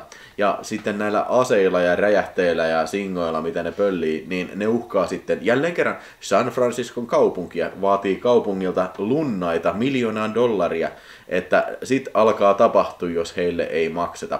Ja totta kai meidän lempikyttämme Dirty Harry sitten alkaa jäljittämään tätä porukkaa sitten. Että tavallaan tämä tarina on, johdat, niin kuin juontaa aika lailla, niin kuin, menee aika samoja uria kuin ensimmäinen Dirty Harry. Laissansa joo, laissansa joo. Että siis tämähän on ylipäätään niin kuin selkeä tämmöinen tribuutti ensimmäiselle Dirty Harrylle. Täällä on todella paljon yhtymäkohtia, ei pelkästään tietenkään siinä, että, mm. että Clintti kovistelee San Franciscon kadulla, mutta siis tosiaan nimenomaan tämä, että ensinnäkin tarinan rakenne on hyvin samantyylinen. Joo. Sitten siellä on Harry Gardino, tulee takaisin poliisipäällikkönä. Kyllä. Sehän ei ollut edellisessä osassa. Ei ollut. Ei ollut. joo. Niin, niin. Ja Sit- tota, just tyyli siinä tulee tämä tää, tää, tää, tää, Albert Povvelin näyttelemä, näyttelemä Mustafa, joka siellä Niin, on. eli mikä ykkösessä on siis tää äijä, mikä on se, hey man, I got to know, se pankkiryöstäjä, mitä se uhkaa. Kyllä. Se, se justiin, että you, You feel lucky. do you feel, feel lucky punk. Niin se on, se on just se sama äijä, mutta me siinä arvoteltiin, kun me katsottiin, että onko tämä oikeasti se sama henkilö, koska siinä vähän niin kuin viitataan sitä, kun se sanoo, kysytään, ollaanko me nähty aikaisemmin. Kyllä, juurikin näin. Mutta Tässä- siis kyllä. mä haluan, haluan ajatella niin, että tämä sama äijä, mikä oli ryösti pankki, pankin siinä ykkösessä ja sitten tota, jäi kiinni, niin se on ollut istunut linnassa jonkun aikaa ja sitten se on palannut muutaman vuotta myöhemmin kadulle ja nyt on sitten tämmöinen Black Panther-liikkeen johtaja. Joo, ja nimenomaan uskoo passiiviseen, passiiviseen Niin. niin. demonstraatioon. Eli kun väkivaltaa ei ole, mitään tämmöistä niin kuin, rikoshommia ei ole. Nyt me vaan odotetaan, että valkoinen mies tappaa itsensä. Kyllä. Joo, se mä voin kuvitella, että se on siellä vankilassa miettinyt sitä filosofiaa, että yo man, I met this white guy once. He told me, "Uh, am I feeling lucky? well, I am feeling lucky today, punk. Niin, siis hahmon nimi on kumminkin tota, mikä Mustafa, mm. Mustafa jotakin. Eli tälleen vähän kuulostaa siltä, että se on ollut joku bubba tai muu vastaava mm. edellisessä elämässä, mutta nyt on löytänyt vankilassa islamin ja konvertoitunut. Kyllä, sitten. vähän niin kuin Muhammad Ali sitten. Vähän totta, niin kuin Clay Muhammad Ali. Joo. Klassius, Klassius, Classic Clay muutti nimensä siis Muhammad Aliksi, jos ei joku siellä tiennyt. Se on sen verran, mitä mä tiedän nyrkkeilystä. tai urheilusta. Urheilusta ylipäänsä, niin kuin, en mitään muuta. Ja sittenhän tämä sama terroristiporukka sitten lukuisten yhteenottojen jälkeen sitten, kun, kun tota Harry Callahan sitten tekee, ähm, edistyy tässä hommassaan, nehän sitten viimeisenä oljenkortenaan sitten kidnappaa pormestarin sitten ja Kyllä. vie sen tänne vankila saarelle, jota Alcatrazzi nimellä kutsutaan. Niin tota, eli tässähän päästään Alcatraziin, samoin kuin toisessa Don Siegel ja Clint Eastwood yhteistyö elokuvassa, eli Pako Alcatrazista, Kyllä. Escape from Alcatraz. Joo, ja tota, tosiaan, no tässä mielessä se just se rakenne on hyvin samanlainen ykkösen kanssa, että on tämmöistä hidasta periaatteessa kissahiirileikkiä koko elokuvan ajan ja periaatteessa niin kuin tiedetään tekijät ja tiedetään heidän agendansa ja muuta vastaan. Nyt ne vaan pitää löytää ja saada kiinni sillä tavalla, että, että ne saadaan edes vastuuseen. Ja lopussa tulee sitten just tämmöinen niin kuin ykkösessä koulubussin kaappaaminen, nyt tulee pormestarin kidnappaaminen, että periaatteessa joku näin iso asia, että nyt ei voida enää katsella tätä touhua sivusta, nyt pitää puskea läpi ja Dirty Harry on ainoa, joka sitten, jolla on tarpeeksi meisseliä lähteä puskemaan. Kyllä. niin. Ja myöskin siinäkin mielessä tämä yhtenee niin kuin ykkösen kanssa aika paljon, koska niin kuin, jälleen kerran sama asetelma, että tuntuu siltä, että kukaan muu ei halua niin kuin, tiedätkö, ottaa näitä kiinni, tai haluaa niin kuin, tehdä yhteistyötä näiden roistojen kanssa, Joo. paitsi Harry Callahan ja Siis niin kuin Harry Callahan tuntuu olevan tämä, niin kuin, kuten ykkösessä myös tämä, niin kuin, tämä periaatteessa niin kuin, kansan syvien rivien ääni, että niin kuin, miksi te ajattelette vaan rikoksen tekijöiden oikeuksia, ettekä lainkaan niin kuin, uhrien oikeuksia. Kyllä. Tämä on semmoinen yhdistävä tekijä, mikä lähes kaikkien näitä elokuvia kyllä yhdistää. Ja siis se on ehkä varmaan se syy, minkä takia nämä on ollut ihan suosittuja. Joo, joo. Siis puhuttelevat sitä tavallista kansalaista Niin. silleen, että si- siinä mielessä, että ne on näitä yksinkertaisia teesejä periaatteessa, mm. mitä käsitellään, että no toisaalta jos jos sulla on niinku tarpeeksi, tarpeeksi niinku vahva se oma pointti, mitä haluat tuoda läpi, niin en mä näe sitä syytäkään, että minkä takia se pitäisi olla vaikeammin tehty. Että siinä mm. mielessä it's fine, se Niin. hoitaa hommansa. Se on se vaan, niin kuin, mitä ollaan silloin edellisellä kerralla puhuttiin, että niin kuin, fasismi on hyvä työkalu silloin, kun se saat oikeassa. Mutta kun nämä oikeudet, siis kun näissä me nähdään tässä elokuvassa vaan se kolikon toinen puoli. Kyllä. Se, että niin kuin, tämä poliisi, Harry Callahan, se on aina oikeassa. Mm-hmm. Mutta siis sen takia niitä lakeja on, jotka suojelee tätä epäiltyä. Koska niin kun, siis mitä jos tämä poliisi, tämän, se gut feeling ei vaan niin kun, pidäkään paikkaansa. Eli se on mm. joku niin kun, vähän saman nä- näköinen tai Joo. epäilyttävästi muuten käyttäy, muusta syystä käyttäytyä henkilö, niin onko sitä sitten oikein, oikeus mennä kiduttamaan? Niinpä nimenomaan, ja se, nä, tätä aspektia ei ehkä näissä Dirty Harryissa ihan Ei hirveästi- oikeastaan, ei oikeastaan. taklata. Mutta toisaalta taas sitten Clint Eastwoodin myöhemmässä filmissä tämä, sanoisin toi Mystic River. Joo, nimenomaan. Eli Menneisyyden otteessa. menneisyyden otteessa, niin tota, siinähän on se porukka lapsuuden kavereita, jotka sitten ihan varmoja on siitä, että tämä yksi heistä on se pedofiili. Mm. Mä en muista ku- kuka se oli sitten. Ja, Tim Robbins oli tämä Niin, se- epäilty joo, ja Sean kyllä. Penny oli Kyllä. sitten tämä, tota, tämä agitaattori siinä ja mm. Oliko Kevin Bacon sitten poliisi, joka, joka selvitteli tätä koko sotkua. joo. ja vähän muuten sama, tuli tuosta mieleen, samaa teemaa käsittelyä, onko nähnyt Denis Villeneuve on vangittu, siis Prisoners. Joo, kyllä, kyllä. Vähän sam- joo, se menee vähän samoilla, mm. samoilla urilla. Ei, ei ihan niin kuin silleen yhtä, yhtä niin kuin räikeissä mustavalkoisuuden mm. sävyissä. Mutta joo, Mutta siinähän taas niin kuin periaatteessa prison, prisonissa niin se on se, että tota, se tekijä on niin, niin sanotusti syyn takeeton. Se on vammainen, se ei ymmärrä se, se Kyllä. ketä kidutetaan. Joo. Mikä tekee sitä ehkä asteen vielä vähän niin kuin kyseenalaisempaa kyllä. Mm. Että, että niin kuin se, se on lapsen tasolla oleva kundia. Näin. Ehkä me nyt ajaudutaan vähän liian kauaksi tästä, tästä aiheesta, mutta se nyt yleensä näissä keskustelussa käy. Hei, me ei yhtään vielä kerrottu tästä äh, naispoliisista. Eli joo Tyne Dalein näyttelemä naispoliisi. Joo, Tarkastaja Moore. Eli se on sitten vähän niin kuin Dirty Harry ykkösessä, niin tulee Gonzales, mutta nyt tulee vielä kauheampaa, nyt tulee naispoliisi. Uh, ja Dirty Harry, mä en tajua, miksi se ottaa hirveästi pulttia siinä heti, kun se on siellä niin kuin haastattelemassa sitä. Kyllä. Miten sä kuvittelet, saatana, susta tulee etsivä, sä et ole pidättänyt edes ketään, niin sitten on hirveet. Hirveä räyhä. niin, niin, ja yleensä Harry on aika cool, että en mä tiedä, miksi se nyt tosta otti niin itteensä, mutta Ehkä siinä on taustalla se, että se, hän nimenomaan haluaa, että niin kuin nämä tyypit, jotka ylenee, niin oikeasti ansaitsee mm. sen, että riippumatta sukupuolesta sitten. Niin. Kyllä. Niinhän, Mut, se, niinhän se vähän räyhää siinä samassa kohtauksessa, että mit- jos sulla ei ole ensimmäistäkään rikos- tai rike-pidätystä tai keissiä taustalla, niin miten hitossa sä luulet olevas parempi kuin tyyppi, joka on palvellut 15 vuotta kadulla. Ja Nimenomaan. Tällainen.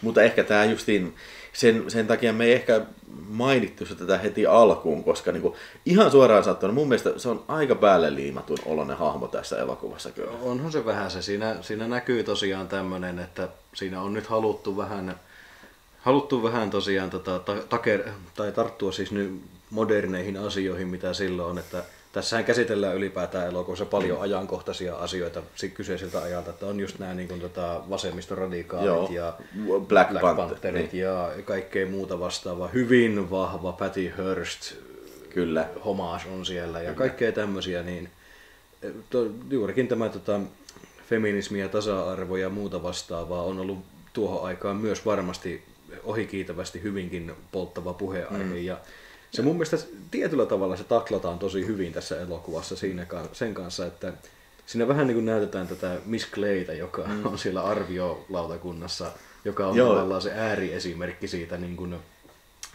siitä, siitä pelottavasta feminististä niinkin sanotusti tämmöinen kuivakka nainen, joka suhtautuu kaikkeen miehisyyteen todella ylevästi. Ja sitten meillä on tämä Tyne Dalein mm. hahmo, joka on, on sitten on ihan hyvä hahmo. On, on, on. lopuksi, siis todella hyvä hahmo. Ja, ja tota, se on sitten edustaa tämmöistä, niin kuin, että no, ei, ei se, että sä ajattelet feministisesti, niin ei tarkoita sitä, että sä oot tämmöinen Miss Clay-tyylinen hahmo automaattisesti.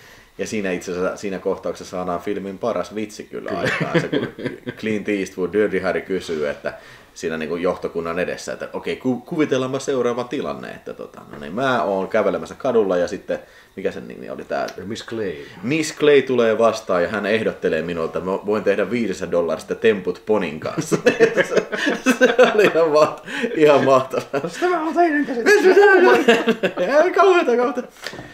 Joo, siis en mä, en mä ala, siis mun mielestä mä tykkään Tyyn Daleista, hyvä, mm. hyvä näyttelijä, siis tää hahmo on hyvä. Mun mielestä vaan tuntuu vähän siltä, että on vähän pa- päälle liimatun olonen ehkä On, tällä. Että niinku tuntuu, että on ot, niinku kaksi ideaa niinku naitettu yhteensä. Että niinku, se olisi ehkä pitänyt saada enemmän niinku, tiedätkö, tekemistä siinä On joo. tässä ja elokuvassa. Siis, tämä, tämä koko elokuva on silleen, tässä vähän ehkä kummittelee taustalla toi, että siinä missä kakkonen oli tosiaan kaksi tuntia pitkä ja sitä kamaa oli mm. vaan yksinkertaisesti ihan saatanasti mm. siinä. Sekä tärkeää että myös ylimääräistä kamaa, mm. mutta tosiaan se, että se oli todella umpeen ahdettu, mm. niin nyt tuntuu siltä, että nyt siellä on saksittu sit vähän kaikkea pois ihan sillä, että saadaan tämä siihen tunti 30, että se Mm. Joo. pysyy koko ajan rullaavana niinkin sanoakseni. Juu, Niin kyllä. Se, siinä ei ole oikein, väittäisin, että ei ole ihan liikaa päästy keskittymään näihin niin kuin, tärkeisiin yksityiskohtiin mm. sen takia. Ja loppujen lopuksi, jos ajatellaan niin kuin Dirty Harrynä tai ylipäätään Clint-elokuva, niin tämä menee semmoiseen niin kuin, en mene sanomaan, että kädenlämpöiseen, mutta hyvin turvalliseen keskitasoon. Mm, että ei mua vituta kahtoa tätä, mulla on hauskaa tämän kanssa mm. joka ikinen kerta ollut, mutta onhan tämä nyt kaukana niin kuin silleen, sieltä, mitä se voisi olla. Just näin, ihan samoilla linjoilla. Ja siis hyvin kuvaavaa on se, että tota, ää, siis on nähnyt tämän varmaan monta kertaa, mutta tuossa kun otettiin katsoa, niin mä en tokas, että siis mä en muista yhtään, mitä tässä tapahtuu.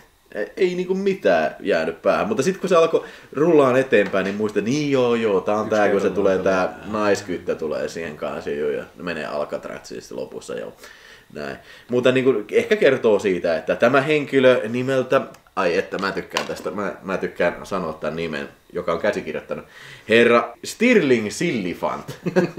se on ihan mahtava nimi. Silifant. Sti- Sterling Sillifant. Vähän niin kuin hassu, hassu norsu. Hassu norsu.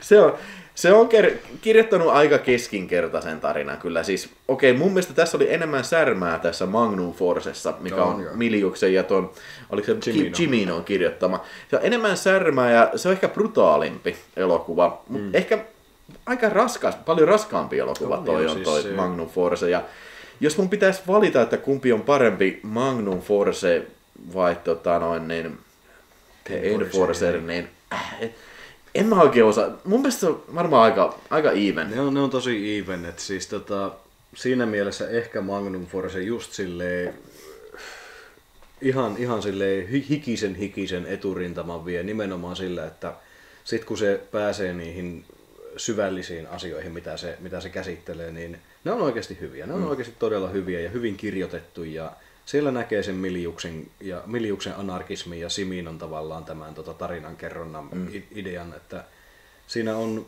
silloin kun tämä on hyvä, niin se on parempi silloin kun tämä on hyvä, Joo. jos tuossa nyt on yhtään järkeä. No siis kyllä, kyllä juu. Ymmärrän kyllä mitä haet takaa tossa, että niin näin. Ja no niin, no sitten tässä taas päästään mun pet peeveen, että okei, okay, tää on kaksi tuntia, vähän reilu, ja mm. tää on 90 minuuttia, että niin. Niin kuin, tää menee nopeammin ehkä ja tolla, että se ei, no en mä nyt sano, että Mag- Magnum Forcekaan niin pitkästytti missään vaiheessa, mutta Ei. se, niin kuin sanottu, se on ehkä niin kuin raskaampi, raskaampi on, huomattavasti. Tässä on menty nimenomaan, tietysti tuohon aikaan nyt ei ole ollut vielä käsitettä 90 Minute Action Flick, mutta tämä on selkeästi lähempänä semmoista, kun mm. tämä on sitten selkeästi lähempänä Joo. tämmöistä klassisempaa 60-70-luvun Hollywoodin väkivalta-elokuvaa. Viihdyttävä, semmoinen viihdepläjäys kyllä. Oikein, ja oikein viihdyttävä. niinhän sä sanoit, että tota, tässä ei ole, ainoa Dirty Harry-elokuva, missä ei ole Lalo Schifri. Lalo Schifrinin musiikkia, vaan tässä on semmoisen henkilön musiikki kuin Jerry Fielding. Tuttu monestakin Pekkinpah elokuvasta. Onko? Juu, okei. alansa legenda säveltäjä miehiä. Okei, joo. Ö, Mulle nimi on tuntematon, mutta hyvä. Nythän se tiedetään taas. Aina oppii jotain uutta. Mutta tämän leffan ohjas tämmönen äijä kuin James Fargo. Ja se on muun muassa ohjannut tota, toisen Clint Eastwoodin filmin, sen toisen Apina-filmin, eli Ensimmäisen apin. niin, anyway, but any which way but loose, eli ol, oliko se lällärit lakoon vai? Vai siis se on mies San Fernandosta. Niin. Lällärit lakoin oli Any Which Way You Can. Joo, okei. Okay. No, no, se voi ehkä seka- sekaantua sen nimissä.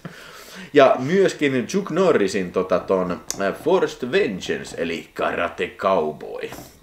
Se on aivan mahtava, mahtava nimi ja ihan, ihan ok katsottava elokuva kyllä, jos haluaa lisää James Fargoa katsoa. Mutta oikeastaan niin ei mulla oikeastaan tästä sen enempää. Että kolme, solid kolme tähteä, ihan Se ok. solid kolme tähteä. Semmoisen niin kuin, tiedätkö, sä, sunnuntai-iltapäivä, kun ei mitään tekemistä. Kyllä. Kyllä. kyllä se voi. Ja varsinkin tämmöisessä maratonissa, niin on, siis, Menee oikein nätisti. niin just, että ei se, ei se nyt häpeä, ei se tarvi hävetä, niin kuin, siis, juu, ei missään nimessä verrattuna ykköseen, mutta niin kuin, siis ei se tarvi häpeillä. Ei suinkaan. Ja siis tota, ylipäätään niin ottaen huomioon, että tämä on nyt, nyt toinen kerta putkeen, kun Clint Varjo ohjaa Dirty Harryä, niin siinä mielessä heikompi tekijä olisi vähän niin kuin sutassut sen vielä vas- enemmän vasemmalla kädellä ja se olisi ollut ihan vaan tämmöinen nopea rahastus ja niin edes poispäin, mutta kyllä tämä niin kallistuu enemmän sinne positiivisen puolelle. Uh, vielä sen verran pitää sanoa, että tota, mikä tämän leffan catchphrase oli. Kun meillä oli, tässä meillä on Do you punk? Do you feel lucky punk? Ja sitten meillä tässä meillä on Man's got to know his limitations, mutta tässä meillä on Tässä oli se saatanan You can count on that. Ei se, se ole mikään catchphrase. Ei se ole... ei, ei tässä oikeastaan ole. Ei, ei peri, näin voidaan oikeastaan sanoa. Tämä on, tämä on selkeästi ainoa näistä viidestä Dirty Harrystä, missä se catchphrase on idean, ideanakin jätetty niin vahvasti taakse, että sitten on ehkä jälkijunassa vasta niin kuin leikkauspöydällä havahduttu siihen, että hetkonen, että tässähän nyt pitäisi kyllä olla joku, ja sitten se You can count on that on pari kertaa leikattu sinne, että no tuossa se tulee nätissä kohtaa, Niin, että niin. laitetaan sinne, mutta siitä puuttuu kaikki ikonisuus, siitä puuttuu kaikki semmoinen nokkeluus ja ylipäätään, ylipäätään kaikki, kaikki helvetimoinen mm. kovistelu, yli, yliampuva kovistelu, mitä tämmöisessä catchphraseissa pitäisi olla. No okei, no ehkä, ehkä me voidaan valita catchphraseiksi paremman puutteessa se, mikä meitä molempaa nauratti siinä yhdessä kohtaa. There's a seven-pointed suppository, Captain. What did you say? I said stick it in your ass. Sovitaan, että se on stick it in your ass tästä lähtien. Ei mitään, hei, kai me mennään katsoa sitten seuraava elokuva, joka on tietysti... Ei ole se. Ei kun hei, vittu ei oo, kun se... No niin, täytyy lähteä. No. Ehkä me mennään sitten seuraavaan. ei olekaan. Nämä on väärässä järjestä. Eiköhän me mennä katselemaan sitten seuraava elokuva, vuoden 83 filmi Sudden Impact, eli ratkaiseva isku, Kyllä. jonka on ohjannut itse Monsieur Clint Eastwood. Varjo-ohjailut on nyt ohjeltu, nyt, nyt Ollaan on niin, niin niin, Clintti. Nyt on niin kuin, vittu tosi kyseessä. Make my day punk. Go ahead, punk. Make my day.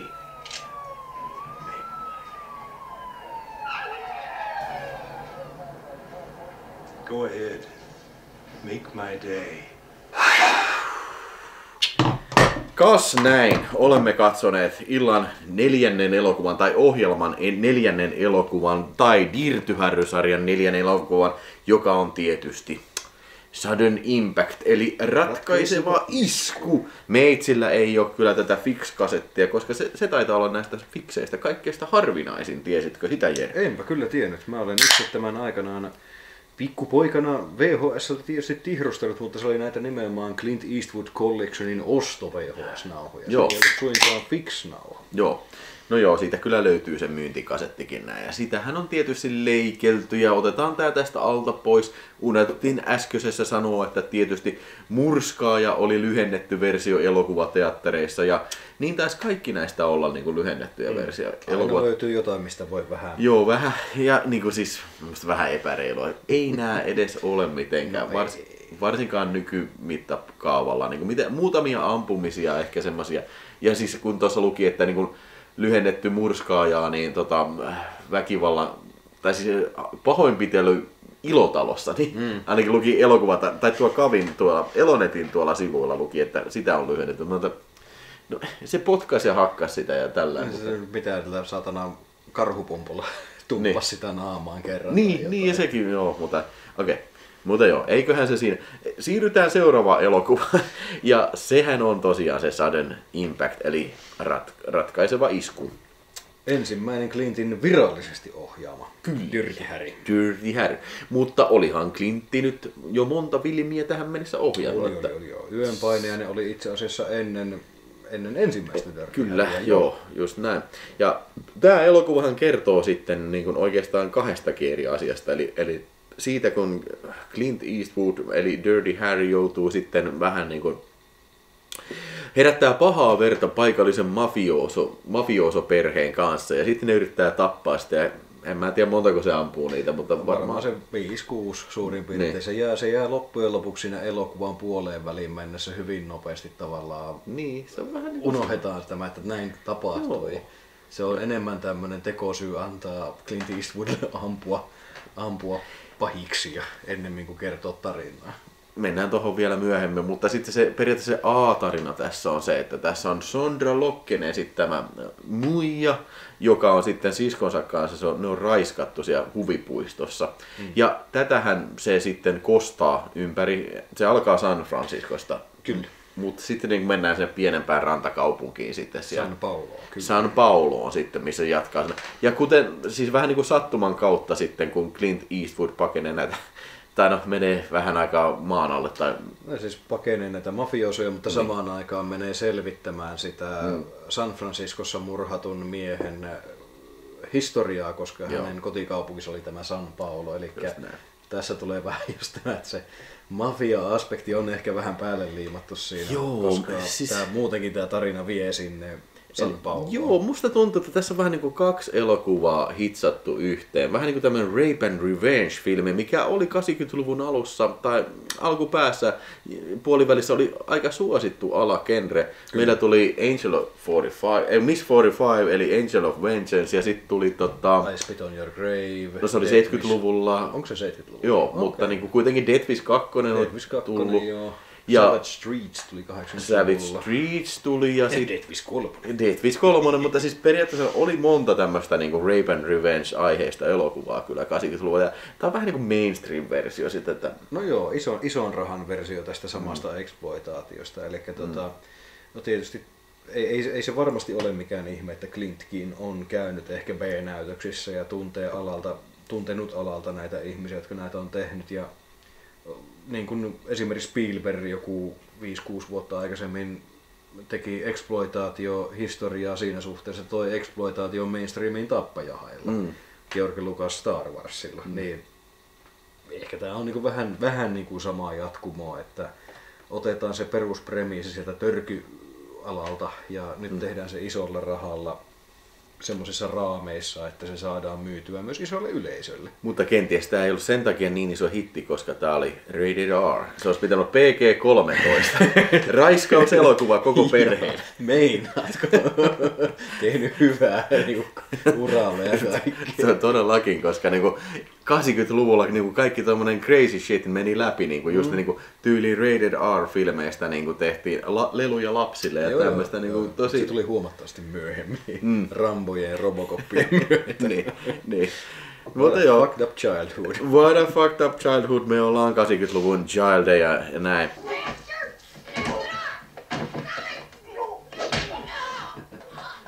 Tota, niin kuin action-kohtaukset tässä elokuvassa, niin ei ole ehkä välttämättä sellainen niin kuin, ne on vähän 70-lukumaisia, niin kuin Clint Eastwood, mikä on hyvä ohjaaja ja taidokas ohjaaja, mutta niin kuin se, Clint hän on tuo, tunnettu siitä, että tota, no, niin hän on hyvin taloudellinen ohjaaja, terkut sinne Aatolle, taloudellinen oh- ohjaaja, ja siis semmoinen, että hän ottaa tarvittavan määrän otoksia, eikä brassaida eikä mitään semmoista.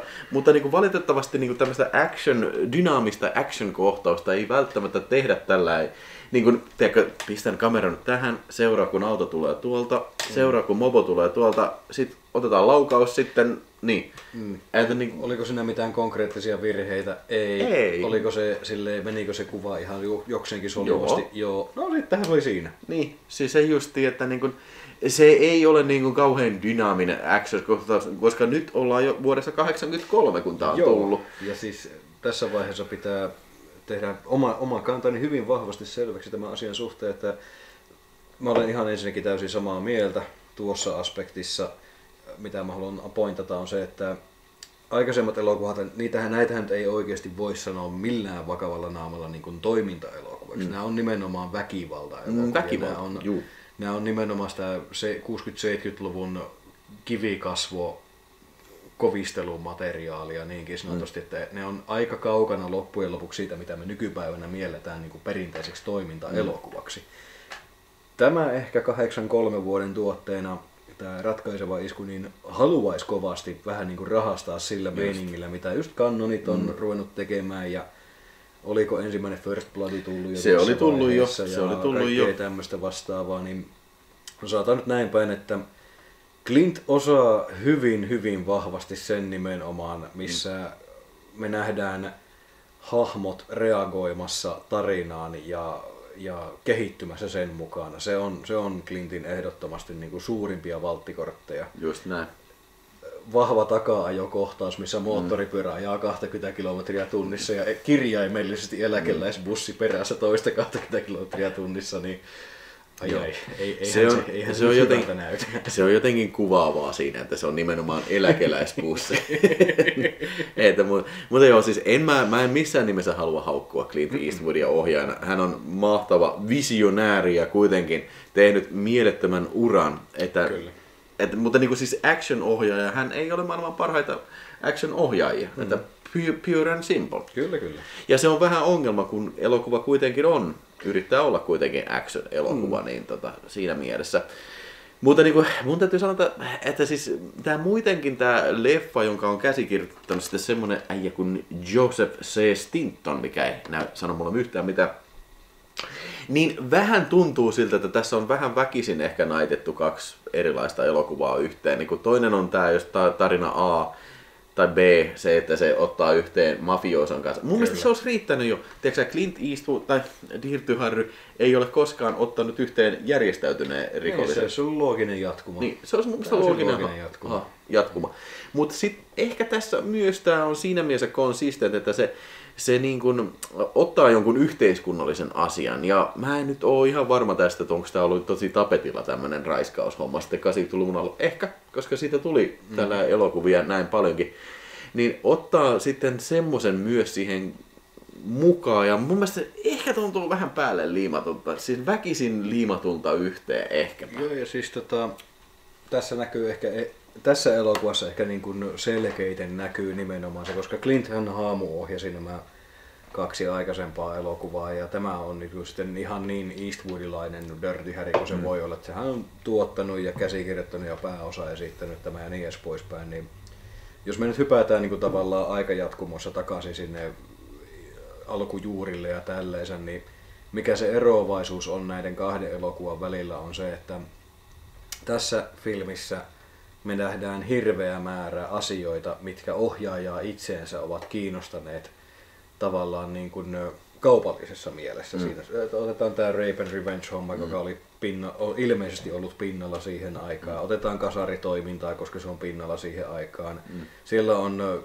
hyvin jatshenkinen Lalo Schifrinin soundtrack, koska Clint tunnetusti on Jälleen kerran on Lalo Schifrin on tehnyt Jälleen musta. kerran, Joo. kyllä. Ja hyvin paljon, siis hämmentävän paljon klassista film noir elokuvan mm. kerrontaa tässä mm. elokuvassa. Ja sitten kun me mietitään tälleen 12 vuotta ajassa taaksepäin, missä oli Don Siegelin yhteiskunnallista sanomaakin sisältänyt hyvin voisi jopa, melkein jopa sanoa ultraväkivaltainen kovaotteinen poliisielokuva, mm. niin näiden kahden välillä on ei pelkästään 12 vuotta aikaa, mutta myös hyvin, hyvin sangen paljon erilaisuutta elokuvallisessa ilmaisussa. Just näin. Eli, eli voisi sanoa, että ehkä silleen, että tota noin, niin, sillä niin kuin rakenteellisesti tämä on ihan niin kuin mustalammas verrattuna näihin kolmeen mm. aikaisempaan, mutta sitten ehkä temaattisesti se on paljon samaa, koska jälleen On, tässä on myös tämä dirtyhärry-teema, että entä se uhri? Mm. Ja siihenhän nyt tämä, yksi näistä uhreista on nyt, nyt tällä kertaa se on hahmo oikein tässä elokuvassa. Joo, ja siis elokuvan lainausmerkeissä pahis Mm, pahis, ja No, Totta kai ne, se raiskaaja jengi se pahis varsinaisesti Niin. on, mutta Sonra Lokke on tää rikollinen. Niin, sitä mitä periaatteessa Harry etsii. Kyllä, Niin. nimenomaan.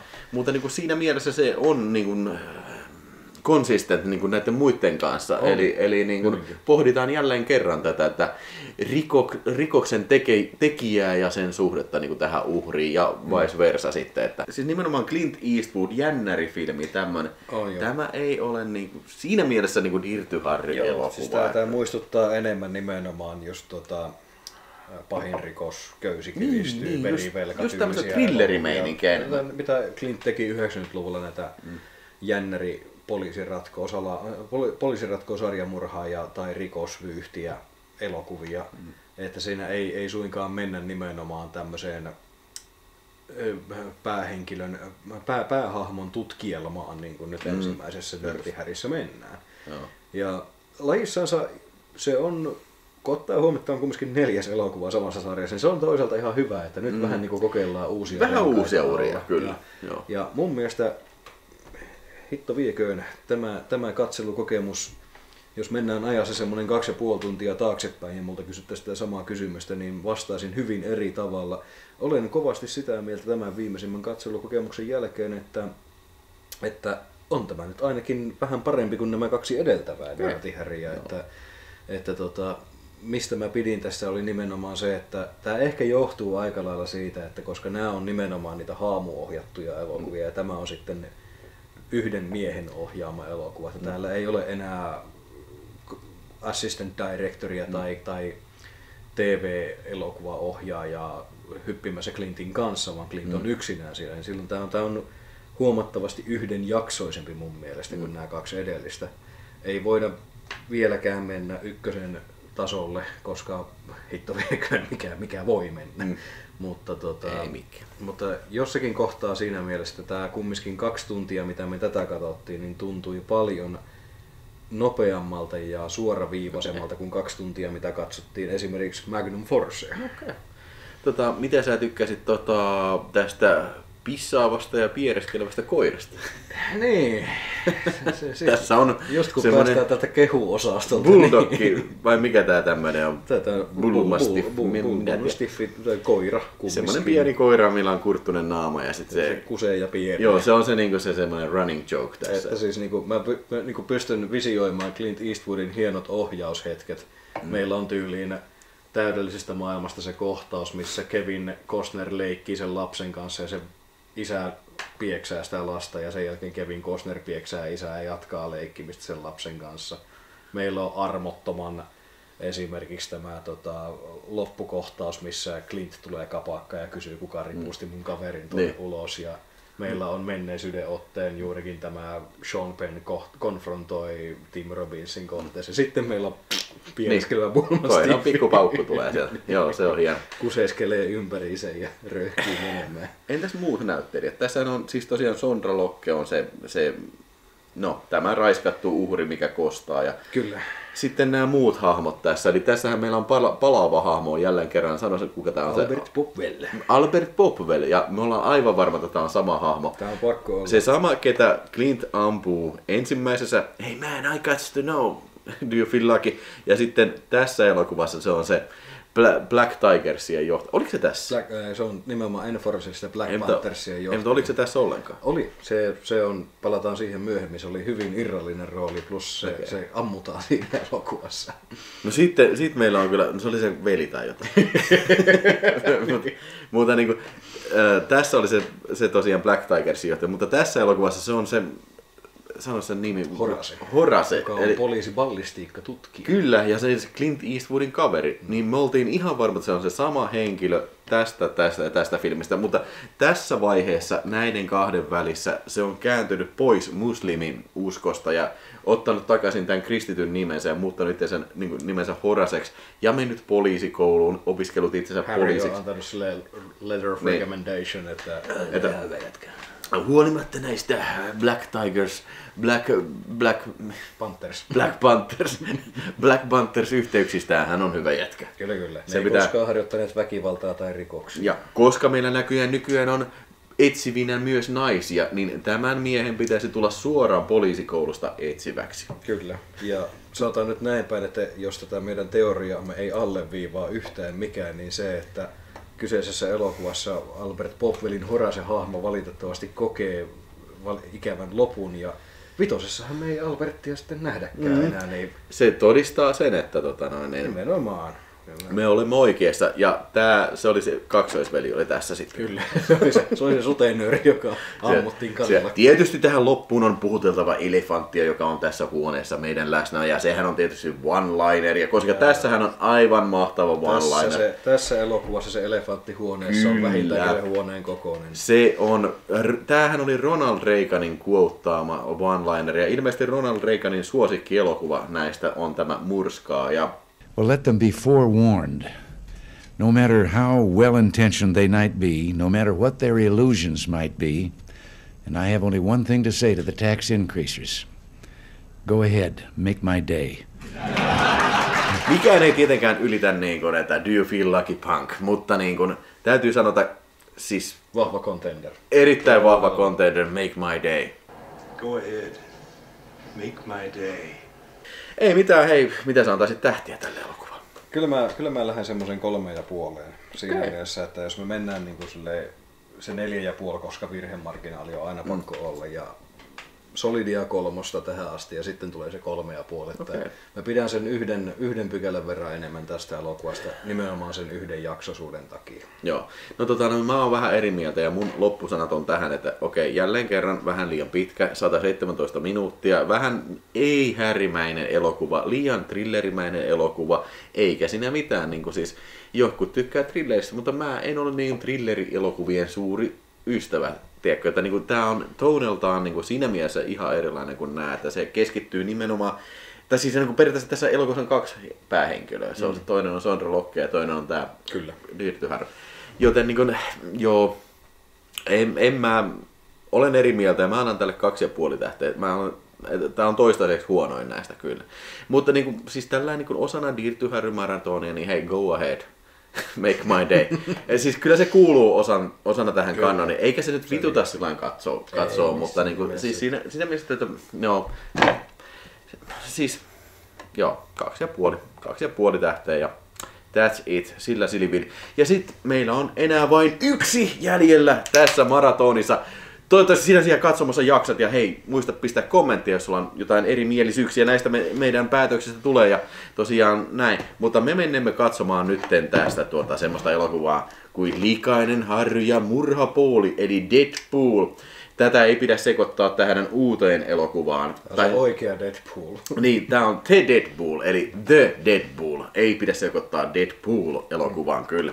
Eli tässä on, tää on 88 vuodelta ja tän on ohjannut sitten semmonen äijä kuin Buddy Van Horn. Eikö se ollut Clint Eastwoodin stunt? Stunt-mies. Stunt-miehiä, kyllä. Eli taas kerran päädytään tälle varjo-ohjaaja-aspektiin. Joo. Eli Clint ja Budihan tekivät hyvin paljon yhteistyötä ja jos siellä kotikatsomossa joku teistä pienokaisista on nähnyt elo, Clintin elokuvan Ruoska ja siinä olette katsoneet kohtausta, missä hyvin vahvasti Clintin näköistä miestä hakataan ruoskilla mm. useampaan otteeseen, niin Se on Buddy Van Horn. ohjaaja on kyseessä. Okei, okay, buddy, go ahead. Make my day.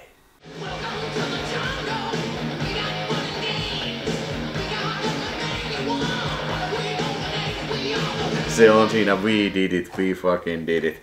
Me katselimme viimeisen elokuvan tänä iltana tästä maratonista ja se on The Deadpool eli Murhapooli Motherfuckers Buddy Van Hornin ohjaama leffa vuodelta 1988. Niin, No, elokuvahan on, elokuvahan on tosiaan, kun no kuten sanottu, niin Dirty Harry Saagan viimeinen osa ja elokuva kertoo siitä, kuinka Dirty Harry alkaa olemaan jo pikkuhiljaa semmoinen oikeasti saatana käsite, kuuluisuus kirjaimellisesti, että että tota, mafiapomoa toisensa jälkeen pistetään linnaan ja rikollisia on laitettu lihoiksi vuosikymmeniä saatossa vaikka kuinka paljon ja ja lehdistö alkaa olla pikkuhiljaa vähän niin kuin kiinnostunut siitä, että kukas tämä Harry Kallahan on, ja sitten ruvetaan tuomaan julkisuuteen, julkisuuteen sitten tota jummi jammi jutuilla, ja tietysti mitä enemmän julkisuutta sä tuot tämmöiselle ihmiselle, joka työskentelee väkivallan keskuudessa, niin ei se ole mikään ihme, että väkivalta seuraa sitten perässä, ja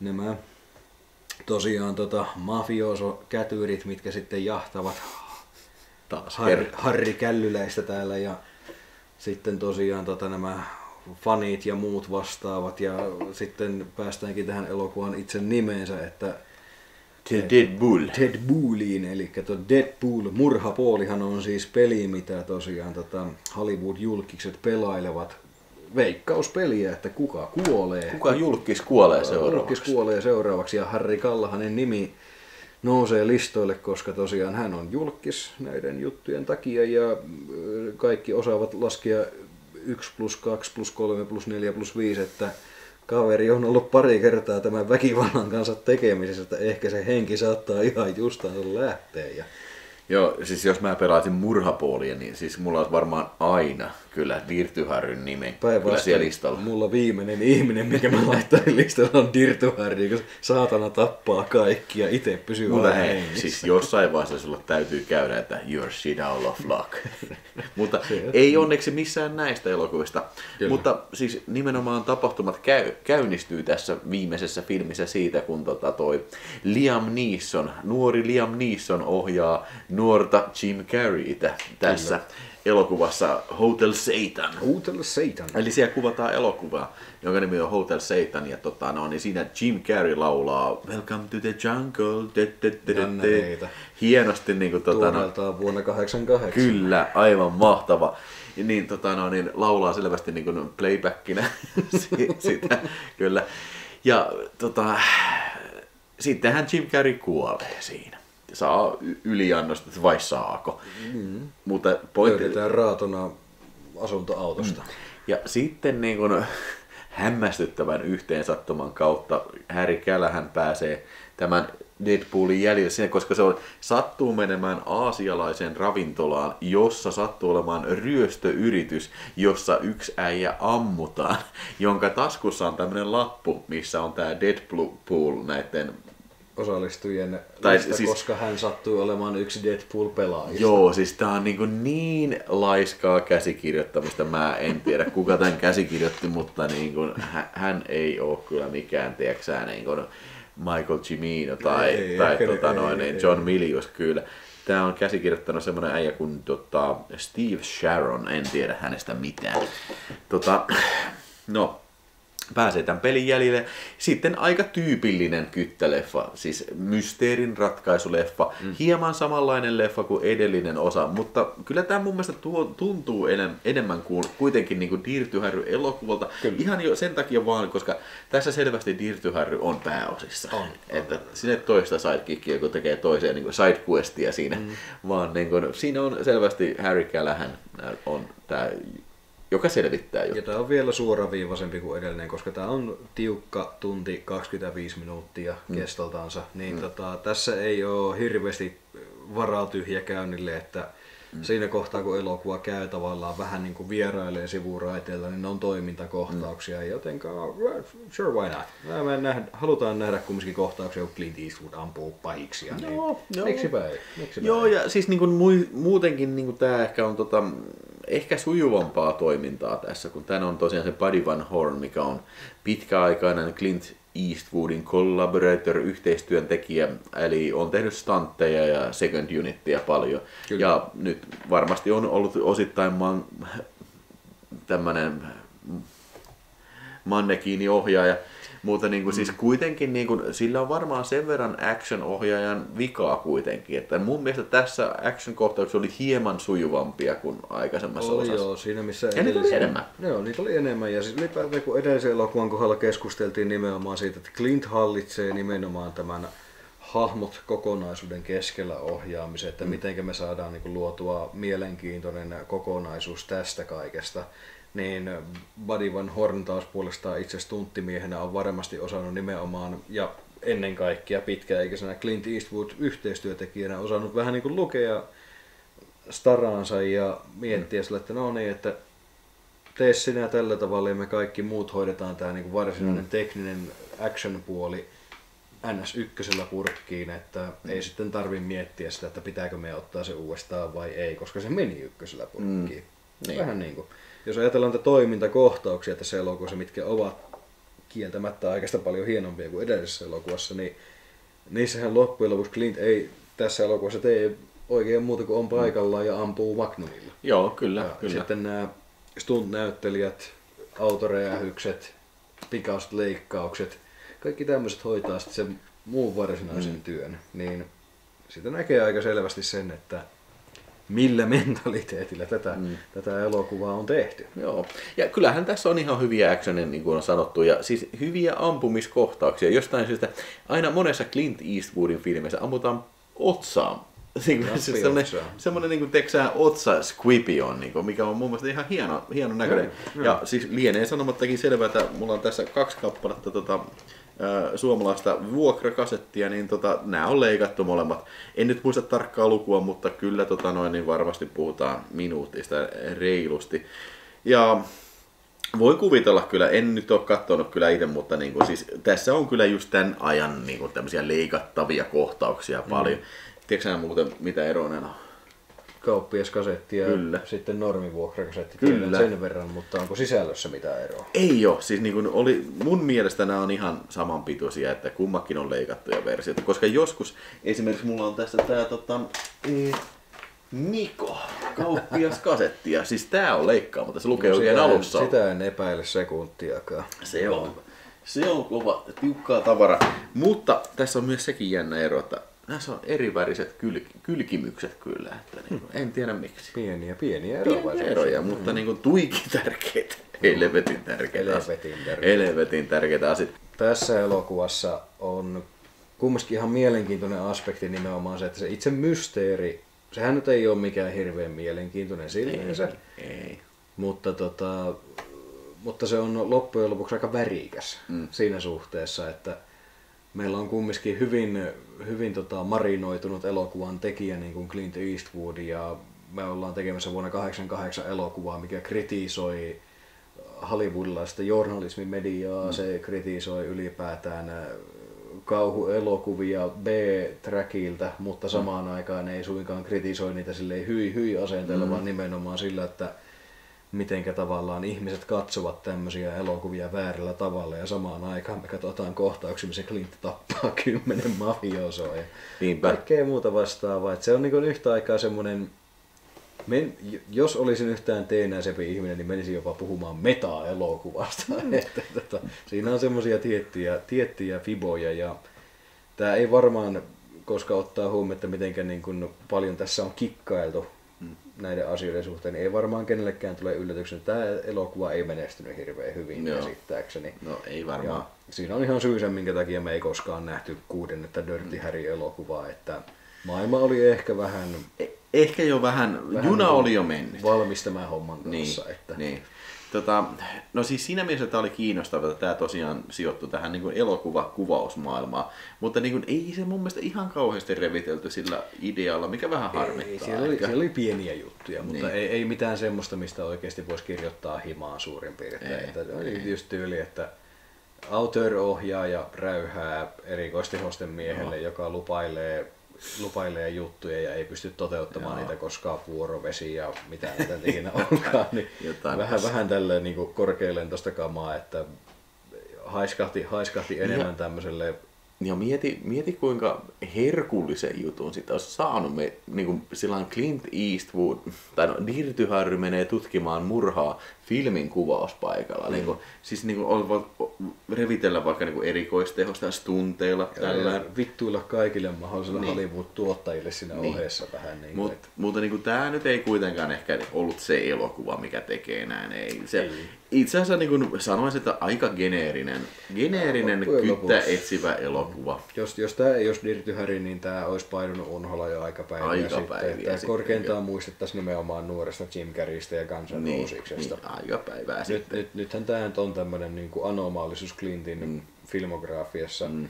Toki omalla kohdallani on sanottava se, että, että tota, voi pojat, kovin moni ei allekirjoita tätä mielipidettä minun kanssani, mutta tämä on alleviivaa sitä, että tämä on subjektiivinen mielipide. Minun mielestäni tämä on toisiksi paras Dirty Harry-elokuva, mitä on Okei, okei, okei. No toi on aika, aika kova, kova väite, väite kyllä, mutta No siis mun mielestä niin kuin ehkä Dirty elokuvissa, niin tämä sijoittuu kyllä about jaetulla viimeisellä siellä kyllä niin kuin ton edellisen kanssa. Että mun mielestä paras tietysti jaetusti toisiksi paras ja jaetuksi kolmas paras. Mä en osaa sanoa kumpi noista olisi parempi. Kyllä mä antaisin kaksi ja puoli tähteä niin kuin molemmille näille loppu, loppupään filmeille. Kenties joku nostalginen side tälle. No se on nimenomaan juurikin Niin. se, koska siis tämä on kumminkin, ei pelkästään ensimmäinen Dirty Harry, minkä mä olen nähnyt, mutta myös sitten tota, hyvin varhaisessa vaiheessa minun, minun elokuvallista heräämistäni tullut elokuva, että tota, siinä vaiheessa suuri osa toiminta-elokuva, väkivalta-elokuvista, mitä on tullut nähtyä, niin nyt pitää muistaa, että tämä on ollut 89-luvun taitetta, mm. jolloin sensuuri Suomi on ollut mitä se on ollut, Kyllä. että niinku tämmöistä elokuvien niinku Rambo ja Terminator näkeminen on ollut, voisiko sanoa, että sangen vaikeata verrattuna varsinkin nykypäivään. Mm. Niin tota, hyvin varhaisia muistikuvia on siinä, että mitä on tullut nähtyä siihen aikaan elokuvia, on ollut James Bondit ja Mad Max 2 Joo. No si- siinä va- niin tuossa seurassa se varmaan on aika kova. No, se on ollut ihan, ihan oikein kova ja tässä on semmoinen hassu hauska anekdootti, että mä oon nähnyt tämän elokuvan siis joskus 90-luvun alussa televisiosta ja tietysti kokemattomana ihan lapsena elokuvaa katsonut ja niin edes poispäin. Ja mulla oli monta monituista vuotta imprintti aivoissa siitä, että kun elokuvan loppukohtauksessa, kun Harry Callahan nyt sitten tulee ja tosiaan saatanallista harppuunaa kantaa siinä sylissä ja ampuu pääpahiksen sitten tota roikkumaan seinille, niin mulla oli semmoinen mielikuva siitä, että se on Leslie Nielsen. Ja tässä vaiheessa pitää muistaa myös tämä, että tämä on aika ennen internettiä, että ei tämmöisiä asioita voinut vaan tarkistaa silleen niin kuin noin noin vaan. Eli mentiin monta vuotta eteenpäin sillä ajatuksella, että se oli se Leslie Nielsenin elokuva, missä se ampuu sen jätkä harppuunalla seinälle. Ja se ei oikein korreloidu näiden mies- ja alastoase elokuvien kanssa. Mutta siis mun täytyy sanoa kyllä, että niinku, hei, mä voisin hyvin kuvitella tämän tämmöisen idean, että niinku, poliisi ampuu harppuunalla miehen rikollisen vasten seinään, naulitsen sen seinään, niin se voisi helposti olla mies ja se elokuvasta, joten Joo. en lähde tuomitsemaan kyllä sua tästä tota noin, niin, Ja voi pojat sitä fiilistä, kun se ekan kerran 2000-luvulla näit tämä elokuva. Se ei ollut, le- se ei ollut Leslie Nielsen, se oli vittu Clint Eastwood. Nyt, nyt vähän hävettää. Mutta hei, tässä yhteydessä mainitaan sitten tämän elokuvan tämä catchphrase, eli sehän on tietysti You're shit out of luck. You're shit out of luck, elikäs. No, well, no siis parin kertaan se sanoo you're shit out of luck tässä ja näin, että no, okei, okay, Eihän se nyt hirveän kummonen ole, mutta on se nyt näitä kahta parempi. niin, niin, niin siis, Se sentään on catchphrase. okei, sanotaan se on kolmanneksi paras. Tiettyjä asioita 80-luvun action-filmeistä tai 90-luvun action-filmeistä, kun sä juttelet ihmisten kanssa, jotka ei välttämättä ole niin film, filmi niin semmosia niin tietäjiä tai katsele paljon filmejä, niin sä puhut jotain jostain ja sitten se kysytään, niin oliks tää se, kun, missä oli se. Niin tässä on yksi mainittava, muistettava kohtaus, ja se oli yksi niistä kohtauksista, mitä mä muistin tästä. Toinen oli Jim Carrey ja Guns N' Roses, ja sitten toinen on tietysti radio-ohjattava auto, missä on tää C4-pommi, niin kuin, mikä räjäyttää sut clean off, jos sä Täysin. jäät sen niin uhris kyllä. Että, siis tämmöisiä hauskoja pieniä yksityiskohtia jää mieleen, kun siis tommonen niin, niin tosi weird. Joo, joo, ja siis se, se on tämmöinen hyvä konkreettinen muistutus siitä, että vaikka me katsotaan ns. vakavaa väkivalta-elokuvaa ja niin edes poispäin, niin sen ei tarvitse aina olla silleen niin kuin ihan sarviottassa vakavaa. Se, siinä voi olla joku tämmöinen hassuttelu. Se on vaan se kysymys, että missä vaiheessa se hassuttelu menee liian pitkälle. Jos on yksi tuommoinen kohtaus, niin yeah, fuck it fine. Ihan, ihan ok. Se on, se on, se on radio-ohjattava murhapuolissa, se on keraaminen pyssy Die Hard 2. Se on, se on nestemetallimies Terminator 2. Jotain, Joo, joo, jotain ihan- uniikki. Ihan, mä hyväksyn tämän ihan täysin. Se on naurettava, mutta sure why not. Niin. Ja se on vähän semmoinen kadonnut, kadonnut taiteenlaji. Totta. Mut mä annan tälle sen saman kaksi ja puoli tähteä, että niin kun viisi tähteä, kolme tähteä, kolme tähteä, kaksi ja puoli, kaksi ja puoli. That's it. Se on siinä. Ja nyt me ollaan fucking done with this shit, man. Yeah, vittu make my day, motherfuckers. Mutta puhutaanpa hetki vielä sitten, että jos olisi tehty Dirty Harry 6, mitä siinä pitäisi tapahtua? Jos olisi tehty Dirty Harry 6, niin se olisi Gran Torino, mutta väkivallan kanssa. Mä oon ihan samaa mieltä. Siis niin mun mielestä Gran Torino on Dirty Harry 6. Se on, se on sillä tavalla, kun Armoton oli Clintin uralla. Mm. Se oli yhtä aikaa rakkauskirja, mutta yhtä aikaa myös ympyrän sulkeutuminen mm. näille western-elokuville, mistä jostain kummaisesta Clint saattaa olla jotenkin tunnettu. Niin mm. Grand Torino oli mun mielestä, se oli näille väkivaltaisille poliisielokuville se ympyrä sulkeutuja elokuva, vaikka Clint ei ole poliisi elokuvassa, mm. eikä siinä ole väkivaltaa niin kuin per se, mutta mm. se hahmo oli se oli just semmoinen, mitä minä kuvittelisin, että Dirty Harry on semmoinen, mitä se, eläkkeellä. Siitä olisi tullut semmoinen. Kusipää, joka on, joka on todella todella vanhoillinen, mutta jos sille antaa viisi sekuntia mm. aikaa selittää itseään, niin sä ymmärrät tasan tarkkaan, että miksi se toimii sillä tavalla, kuin se toimii. Mm. Miksi ei ole Dirty Harrysta tehty remake? Koska se on se yksi ja ainoa franchise, mihinkä ei, ei pelkästään ei tietenkään saa koskea, sehän on itsestäänselvyys, mutta siihen ei kukaan uskalla koskea. Mm. Siis mä, mä sanon se ihan suoraan, että okei, okay, sä voit remakeata Manajan, which is a ballsy move, mutta, mutta mm. tota, joku senkin on tehnyt jo. Mm. Sä voit remakeata vaikka Casablancan, which again is a ballsy move, mm. mutta sekin on tehty jo. Mutta siis Herran Jumala taivaassa, sinä päivänä kun joku remakeaa Dirty Harryn silleen niin kuin vakavalla naamalla, niin siis, si, si, se on... Si, silloin ollaan kuljettu siis... ympyrä niin pahasti loppuun, että saatana liiton kortit pöytään ja hän himaa siitä. Hell to pay. Hell to pay, että ei, mä... ei tämmöistä niinku, ei ensinnäkään pysty eikä toisekseen kannata, ei, ei siinä ole mitään järkeä. Siis mä luulen, että kyseessä on varmaan niinku sama syy, minkä takia esimerkiksi Alien ei ole tehty remake. Niin, sitä siis... vaan yritetään vieläkin kuristaa hengiltä sitä niin, sarjaa. Niin, mutta niinku, no okei, okay, ehkä ihan sama, mutta niinku, jos sä pistät tohon niin, joo, sä oot ihan oikeassa, mutta niinku, siis okei, okay, Alien ja Dirty Harry, kummakin on niinku periaatteessa niinku, semmoisia niinku franchisin aloittajia. Siis, mm. Että mm. ne, on, ne on tehty niinku jälkeenpäin, ne on niinku ylitetty niinku monellakin tavalla. Että niinku, se on vaikea ottaa niin kuin, esimerkiksi Alienista tai Dirty Harrysta, vaikea, vaikea ottaa niitä trouppeja ja tehdä ne uudestaan niin kuin uudelleen lämmittäen, koska niin kuin siitä on tehty jo uudempia elokuvia ja ne on samat asiat tehty jo, niin tässä on niin kuin tosi vaikea tehdä uudestaan. Mutta mm. jos se tehtäisiin, kuka sun mielestä pitäisi näytellä? Tämänhetkisestä näyttelijöistä pitäisi näytellä Dirty Harry. Minun mielestä tämänhetkisestä näyttelijöistä on siis mä en osaa, en osaa nimeä sanoa, mutta mun mielestä se näyttelijän pitäisi olla joku tämmönen ihan täysin niin kuin... Joku tuntematon. Joo, siis Joku... ei, ei, nyt, ei nyt tarvi mennä paikalliseen teatteriopistoon hakemaan sitä tuntematonta näyttelijää, mutta joku semmonen, joka, joku semmonen, joka on oikeasti nälkäinen ja halukas ja semmonen, joka ansaitsisi niin kuin edes jonkunlaisen vähän erikoisemman breikin, koska ei kukaan iso tähti voi tehdä tämmöistä. Mm.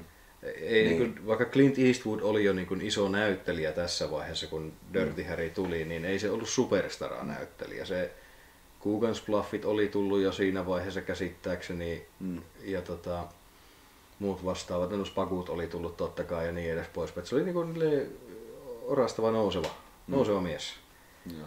ja muuta vastaavaa, mutta ei, joku Brad Pitt tai tämmönen, niin he, ei, ei missään nimessä. No, mitä jos tota Hollywoodissa soitettaisiin Jerille ja sieltä kysyttäisiin, nyt ollaan tekemässä Dirty Harry remake, että haluatko tulla tota esittämään? Me ajatellaan, että sä olet just sopiva siihen, niin mitä sanoisit? Mä sanoisin, että soittakaa mun managerille. Me ruvetaan keskustelemaan tästä asiasta.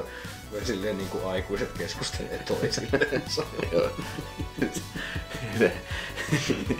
You're probably wondering, did I shoot five movies or only one today? Ei mitään, hei. Kiitoksia Jere, kiitoksia erittäin paljon Jere, että tulit tänne katsomaan tämmöistä hullua maratonia näin niin kuin varsinkin joulun alla ja hyvää joulua sitten. Sitä samaa, sitä näin. Samaa. Ja tota noin, niin hei, tää oli todella hauskaa ja tota, ehkä me otetaan joku toinen maratoni Ei, jossain vaiheessa. Kyllä. koska tässä on varmaan vähän kaiken näköistä filmiä, mitä voisi katsella. Se on Ja totta. Sei, kiitos myös sinulle siis, joka on jaksanut katsella tämän koko la- hirveän mammutin niin kuin läpi. Mä en tiedä kauanko tää, kauanko tää tuli pitkäksi, mutta niin kuin, kyllä tää varmaan aika pitkä on. On että- ehkä katsomista riittää. Joo, joo, siis niin kuin todella paljon kiitoksia, jos tässä olet ja niin kuin, tota, no, niin vielä oot siellä, niin respect. Ja nyt varmaan haluat pistää sitä peukkua, eli tykkää, ja jos et ole vielä tilannut kanavaa, niin pistähän kanavaakin vielä tilaukseen. Oh my god, ei vitsi. Go ahead. Make my day.